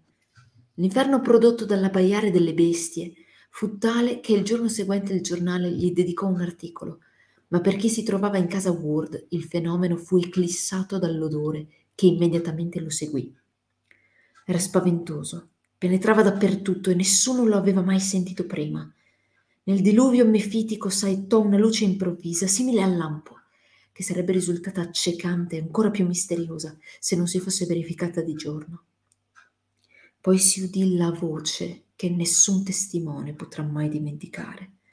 Una voce tonante e remota, profondissima, spaventosamente diversa da quella di Charles Ward faceva tremare la casa e fu udita con chiarezza da almeno due vicini, nonostante l'abbaiare dei cani.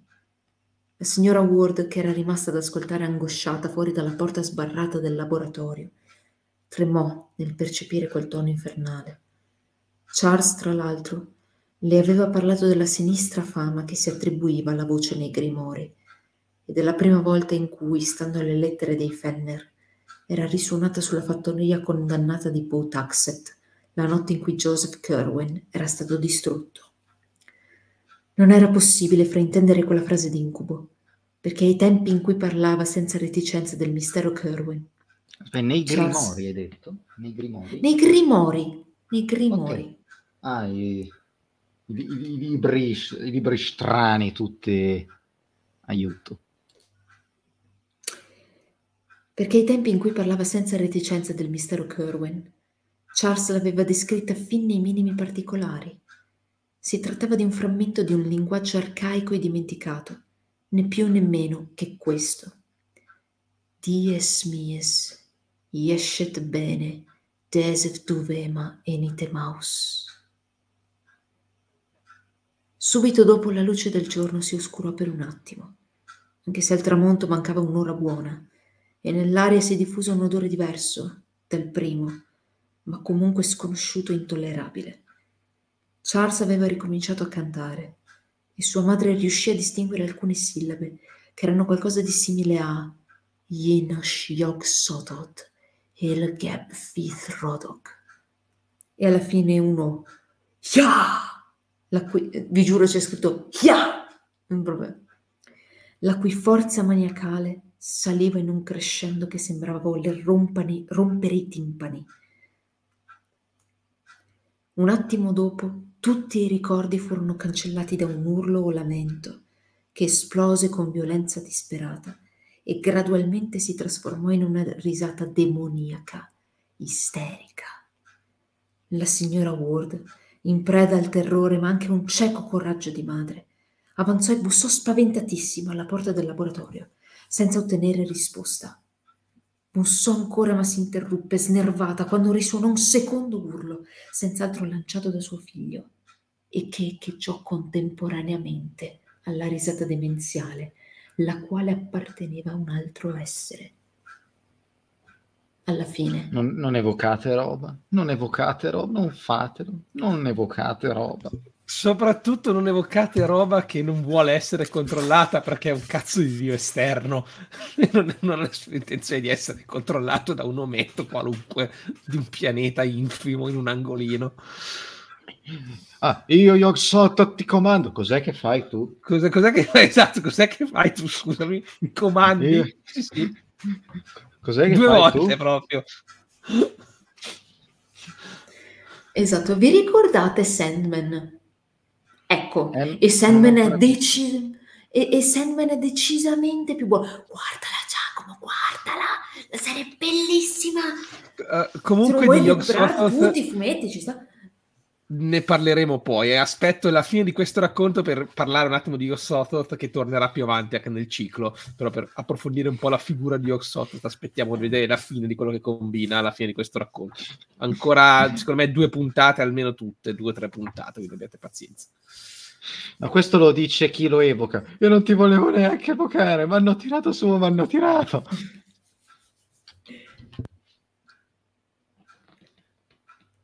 Alla fine la signora svenne, benché sia tuttora incapace di ricordare le cause precise e immediate del malore. A volte la memoria cancella misericordiosamente i particolari più terribili. Il signor Ward tornò, tornò dal quartiere degli affari alle sei e un quarto circa e non trovando sua moglie al pian terreno, fu informato dai servitori atterriti che probabilmente montava la guardia alla porta di Charles, da cui si erano sentiti grida e rumori più strani che mai. Immediatamente il signor Ward raggiunse l'attico e rendendosi conto che la moglie era svenuta, le prese un bicchiere d'acqua da una brocca in un'alcova. Il liquido freddo le corse sulla faccia e il marito si rincuorò, si rincuorò nel vedere che la signora si riprendeva. Poi mentre gli occhi si aprivano, un brivido attraversò da capo a piedi il signor Ward, tanto che per poco non perse coscienza come era accaduto a lei. Il laboratorio silenzioso, infatti, non lo era completamente, lasciava filtrare i mormori di una conversazione tesa, soffocata, troppo bassa perché si potessero distinguere le parole, ma sconvolgente per l'anima. Praticamente la signora Ward ha completamente fallito, proprio fallito criticamente il tiro su sanità mentale. Invece il signor Ward l'ha passato di risego, ma... ma Eh sì, sì, sì. Ovviamente non era una novità che Charles borbottasse formule magiche, ma stavolta era diverso. Non c'era dubbio che si trattasse di un dialogo imitazione di un dialogo, con il normale cambiamento di tono che suggeriva domanda e risposta, affermazione e negazione. Una voce era evidentemente quella di Charles, ma l'altra si esprimeva con una profondità e un tono rauco che le facoltà mimiche del giovane, frequentemente messe alla prova nei suoi cerimoniali, non avevano mai raggiunto. Nella faccenda c'era qualcosa di orribile, blasfemo e anormale. E se non fosse stato per un grido della moglie che si stava ri- riprendendo e che snebbiò la sua mente risvegliandole l'istinto protettivo, è probabile che Theodore Howland Ward sarebbe riuscito a mantenere per quasi un altro anno la sua famosa vanteria di non essere mai svenuto. Prese la moglie fra le braccia e la portò velocemente al piano di sotto, prima che anche lei potesse udire le voci che l'avevano sconvolto.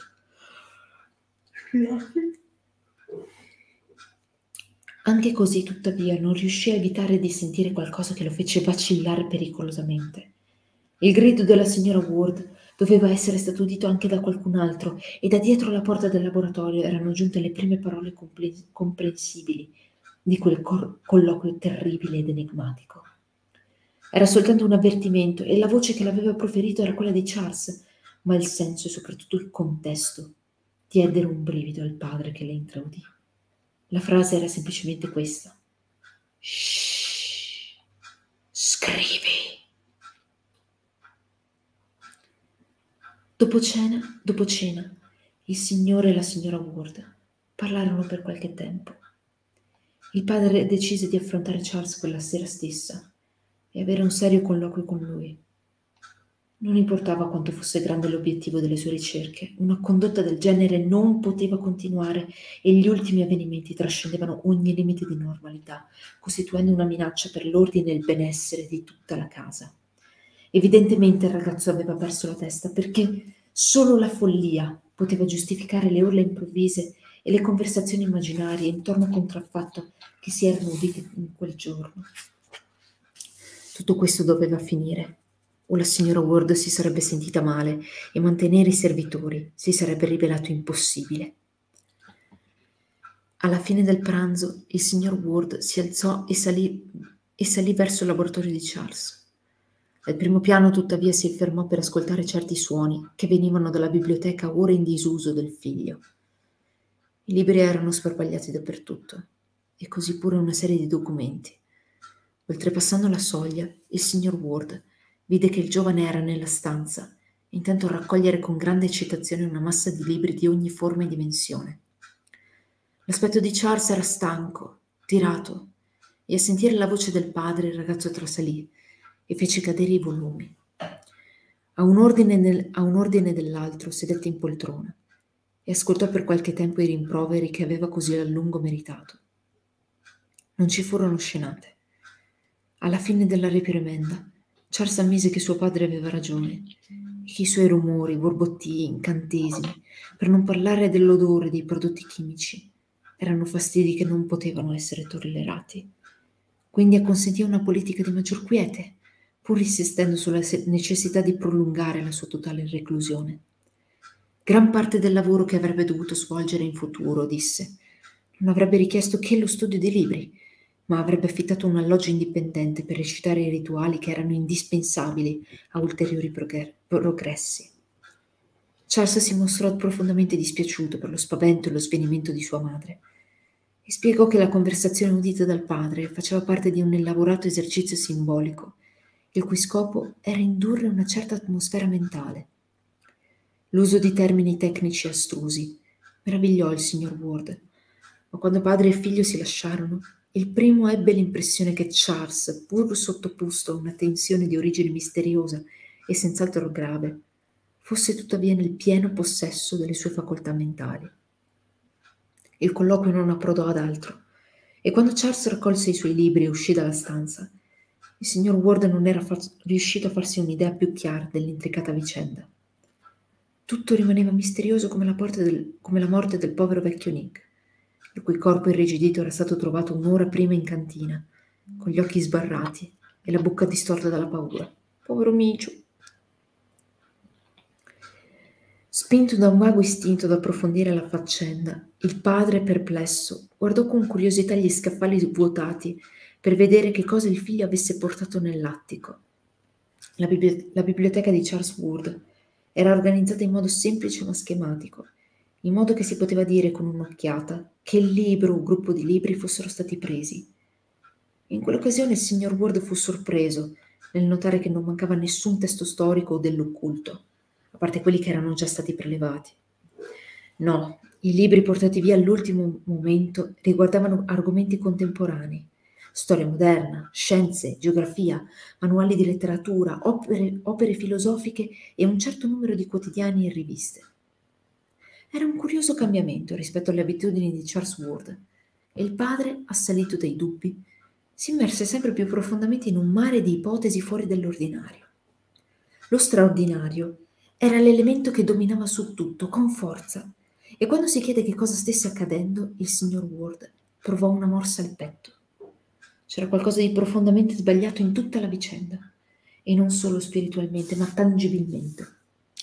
Fin da quando era entrato in biblioteca, il padre si rese conto che mancava qualcosa e alla fine capì di che si trattava.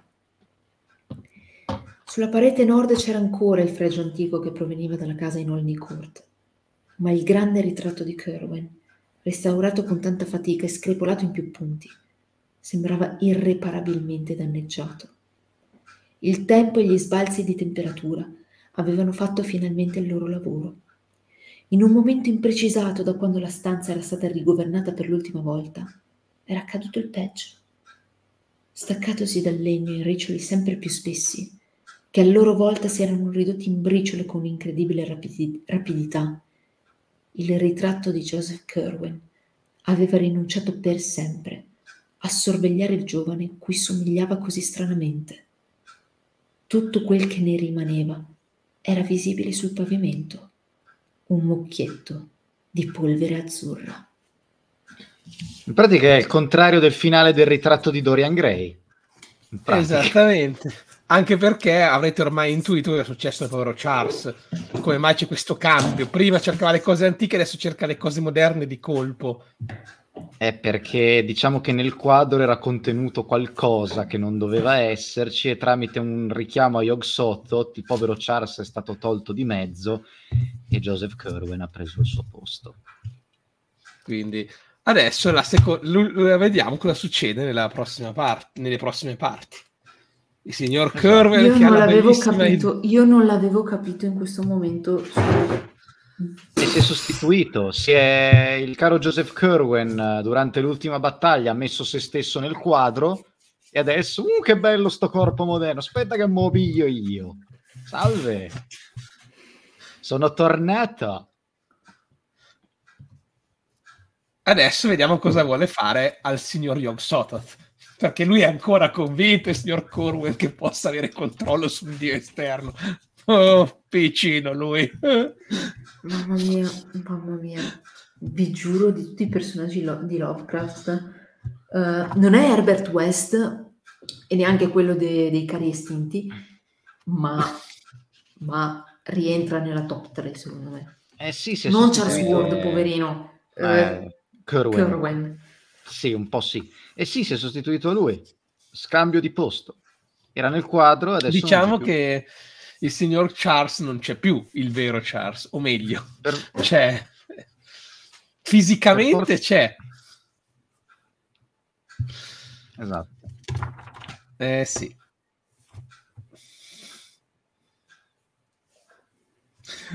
Vado a controllare Yog Sothoth. Uh-huh. Sì, sì. Uh-huh. Ti piacerebbe? No, a questo punto tifo per Yog Sothoth, ve lo dico, cioè proprio... Ma, ma in realtà tra, vedremo tra gli dei esterni, Yog Sothoth, poverino, è ancora più tranquillo, perché viene chiamato dalla gente che vuole fare cazzate, e lui lì, ma perché mi rompete il cazzo? Il cazzo? Siete sicuri? Vogliamo il tuo aiuto? Vabbè, se lo volete, però non garantisco, ragazzi. Eh. Povero Yog. Bene, bene, bene. Eh sì, quindi è per forza il quadro era così ben conservato, con un'anima umana dentro per forza si conserva bene. Eh ragazzi, arriveremo anche all'orrore di Dunwich, eh? quando si forma il mitico trio della Arkham, che compare solo lì nei racconti, però diventa leggendario nel gioco di ruolo. So, io sono solo contenta perché solo nel ehm, ieri sera quando abbiamo livellato ho detto eh questa cosa la conosco eh, sto capendo le cheat. Eh sì, abbiamo ancora un bel po' di Lovecraft, ragazzi, eh, non temete. Abbiamo ancora un bel po'. Eh sì. Oh, sì, sì. Non bisogna mai toccare i grimori. Non bisogna mai toccare le robe antiche. Perché queste qua? Che, che, ne dite? Vi sta piacendo? Avete domande? Se no, ancora un attimo e poi ci avviamo verso la, la conclusione della, della, diretta. Io l'ho detto, io ve lo, non bisogna mai fare rituali, non bisogna mai fare rituali, non bisogna mai chiamare Jay, non fate. Siamo così bene stato, nella nostra... È stato quando hai evocato Yog Sothoth, vero? Non bisogna mai bisogna... evocare Yog Sothoth, Paolo. Io non ti servo rancore, Charles. Io ti perdono. No, Qualcuno. non l'ha perdonato. non l'ha perdonato. Non bisogna mai evocare Yog Sottot, ma non bisogna mai evocare nessuno in particolare. No, mai. Oh, sì. Oddio, Se l'unico che è contento. Uh, l'unico che è sempre contento di essere evocato, se è possibile farlo, è Nyarlathotep, perché si trova dei nuovi giocattoli. È l'unico che è sempre contento. Oddio, non sempre. Eh. Ne, le, leggeremo uno degli ultimi racconti di Lovecraft tra un bel po', dove... Mm. Oddio, Anche sì, è contento non... più o meno. Sì, sì, contento in modo perverso, perché si trova dei nuovi giocattoli, tutto qui.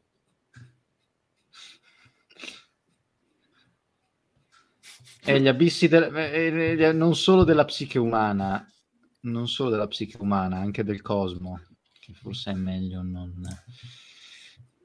non toccare. E se dentro quel bellissimo grimorio si nascondesse in realtà Nirvana? Ah, può essere.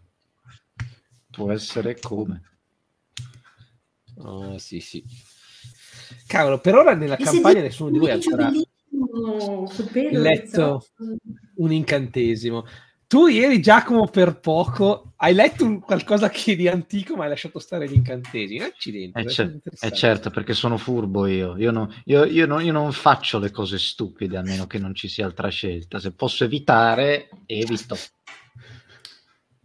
Io faccio cadere Vedi, i fogli sotto le librerie, cioè dai. Dario, io sono il Lì sono giocatore che master... dadi però, eh.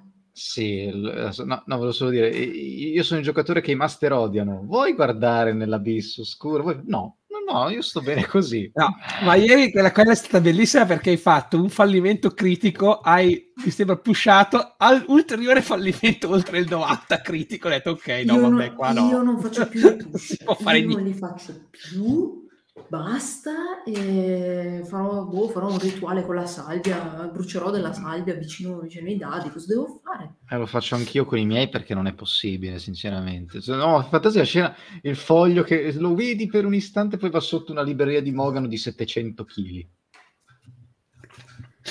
mi, mi- mi lancio da una finestra. Oh, che Sì, bello. sì, eh, Erin in quel momento, il mio personaggio ha valutato il suicidio perché ha detto, mm, cioè, no, non è possibile. Non c'è più sfiga di così.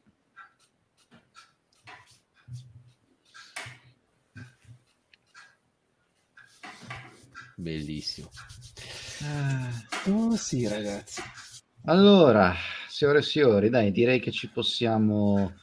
eh, forse non mi sono spiegato. Puoi leggere questo misterioso libro? Sì, sì, capito, capito. E che adesso devi continuare, l'ho visto, bello, ma ci tengo la mia sanità mentale. Vuoi guardare nell'abisso oscuro dove ci sono probabilmente orrori innominabili? No, io sto Nope, bene così. nope, No, no, no, no. sto bene così. No, no. Cosa facciamo stasera? Una gita nel Camposanto. Bene, giusto?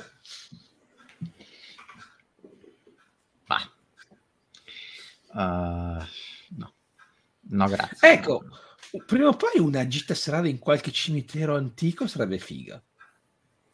A casa tua, no. Io no. No, Io no. a casa mia non ho cimiteri No, era per, no, era per dire, era per dire sì. che la, no, era per dire che te la fai tu e poi me la racconti. In quel senso.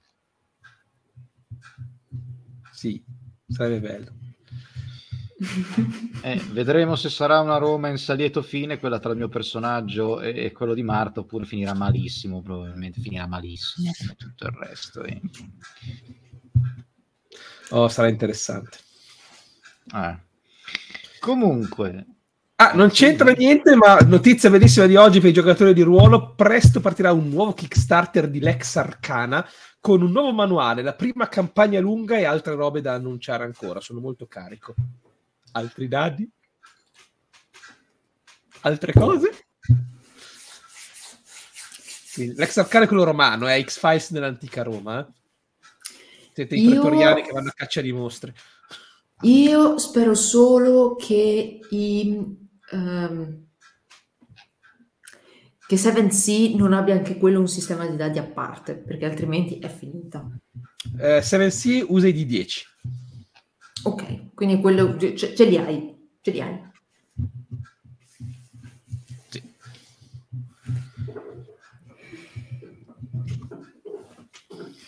sì. Eh, No, non in quel senso, ma che incappiamo in orrori strani e tutto, in quel senso lì. Comunque, eh, dai, direi che ci appropinquiamo alla conclusione. Grazie ai miei colleghi, Dario e Sara, per essere stati qui anche stasera. Grazie a tutti e due. Eh, grazie a Giacomo che ci vuole sempre qui, a Sara alle loro- alle loro- alla loro lettura e grazie a tutti voi che ci avete seguito finora. Non disperate, verranno ricaricate anche queste appena si riuscirà, non penso questa settimana, forse la prossima, quando io e Giacomo riusciremo a rivederci di persona, però è tutto salvato, non temete, ne mancano, so che mancano queste due puntate ultime, e la prossima che faremo, probabilmente le ricaricherò tutte e tre insieme poi quando le riuscirò a recuperare, la prossima settimana prossima si prosegue con Charles Ward, che abbiamo ancora un po' da leggere. Prima di andare alla mia preferita, il colore venuto dallo spazio. Io ringrazio Giacomo e Dario, ringrazio anche voi della chat e ragazzi, alla prossima. Buonanotte, buona continuazione e mm, speriamo di ritrovarci presto appunto per capire, madonna quanto mi dispiace per Charles adesso. No, veramente, mi sono dispiaciutissimo per Charles. Eh, adesso abbiamo a che fare... a me sta proprio sulle palle, è vero che ha, Eh, fatto, sì. ha fatto un bel po' Charles per arrivare lì, ma magari era una roba che non si aspettava, vabbè. E niente. E niente. Tra l'altro, E niente, se guardate il film, quello con um, Vincent Price, è bellissimo perché proprio cambia voce più o meno quando fai, cambia proprio atteggiamento quando fai i due personaggi ed è molto figo. Quella è una cosa che ha reso veramente bene. Beh, Vincent Price era Vincent Price. Esatto. Io ringrazio tutti voi che eravate qua stasera, chi si è abbonato o riabbonato, è passato a salutare o ha solo guardato o commentato. Grazie per tutte le interazioni. Seguitemi su Instagram per gli aggiornamenti, per chi vuole abbonarsi c'è il gruppo Telegram dedicato, una live settimanale dedicata e nessuna pubblicità. E, se- vi faccio sapere se domani sera alle 21 ci vediamo oppure no. Vi, segui, vi avvertirò su, su, su Instagram per tutte queste cose qua. Io vi abbraccio tutte e tutti, vi scivol bene, grazie colleghe, grazie chat. Buon proseguimento di serata o buonanotte se andate a dormire. Alla prossima. Ciao ciao. Ciao, buonanotte, a settimana prossima. Buonanotte. Buonanotte. Ciao ciao.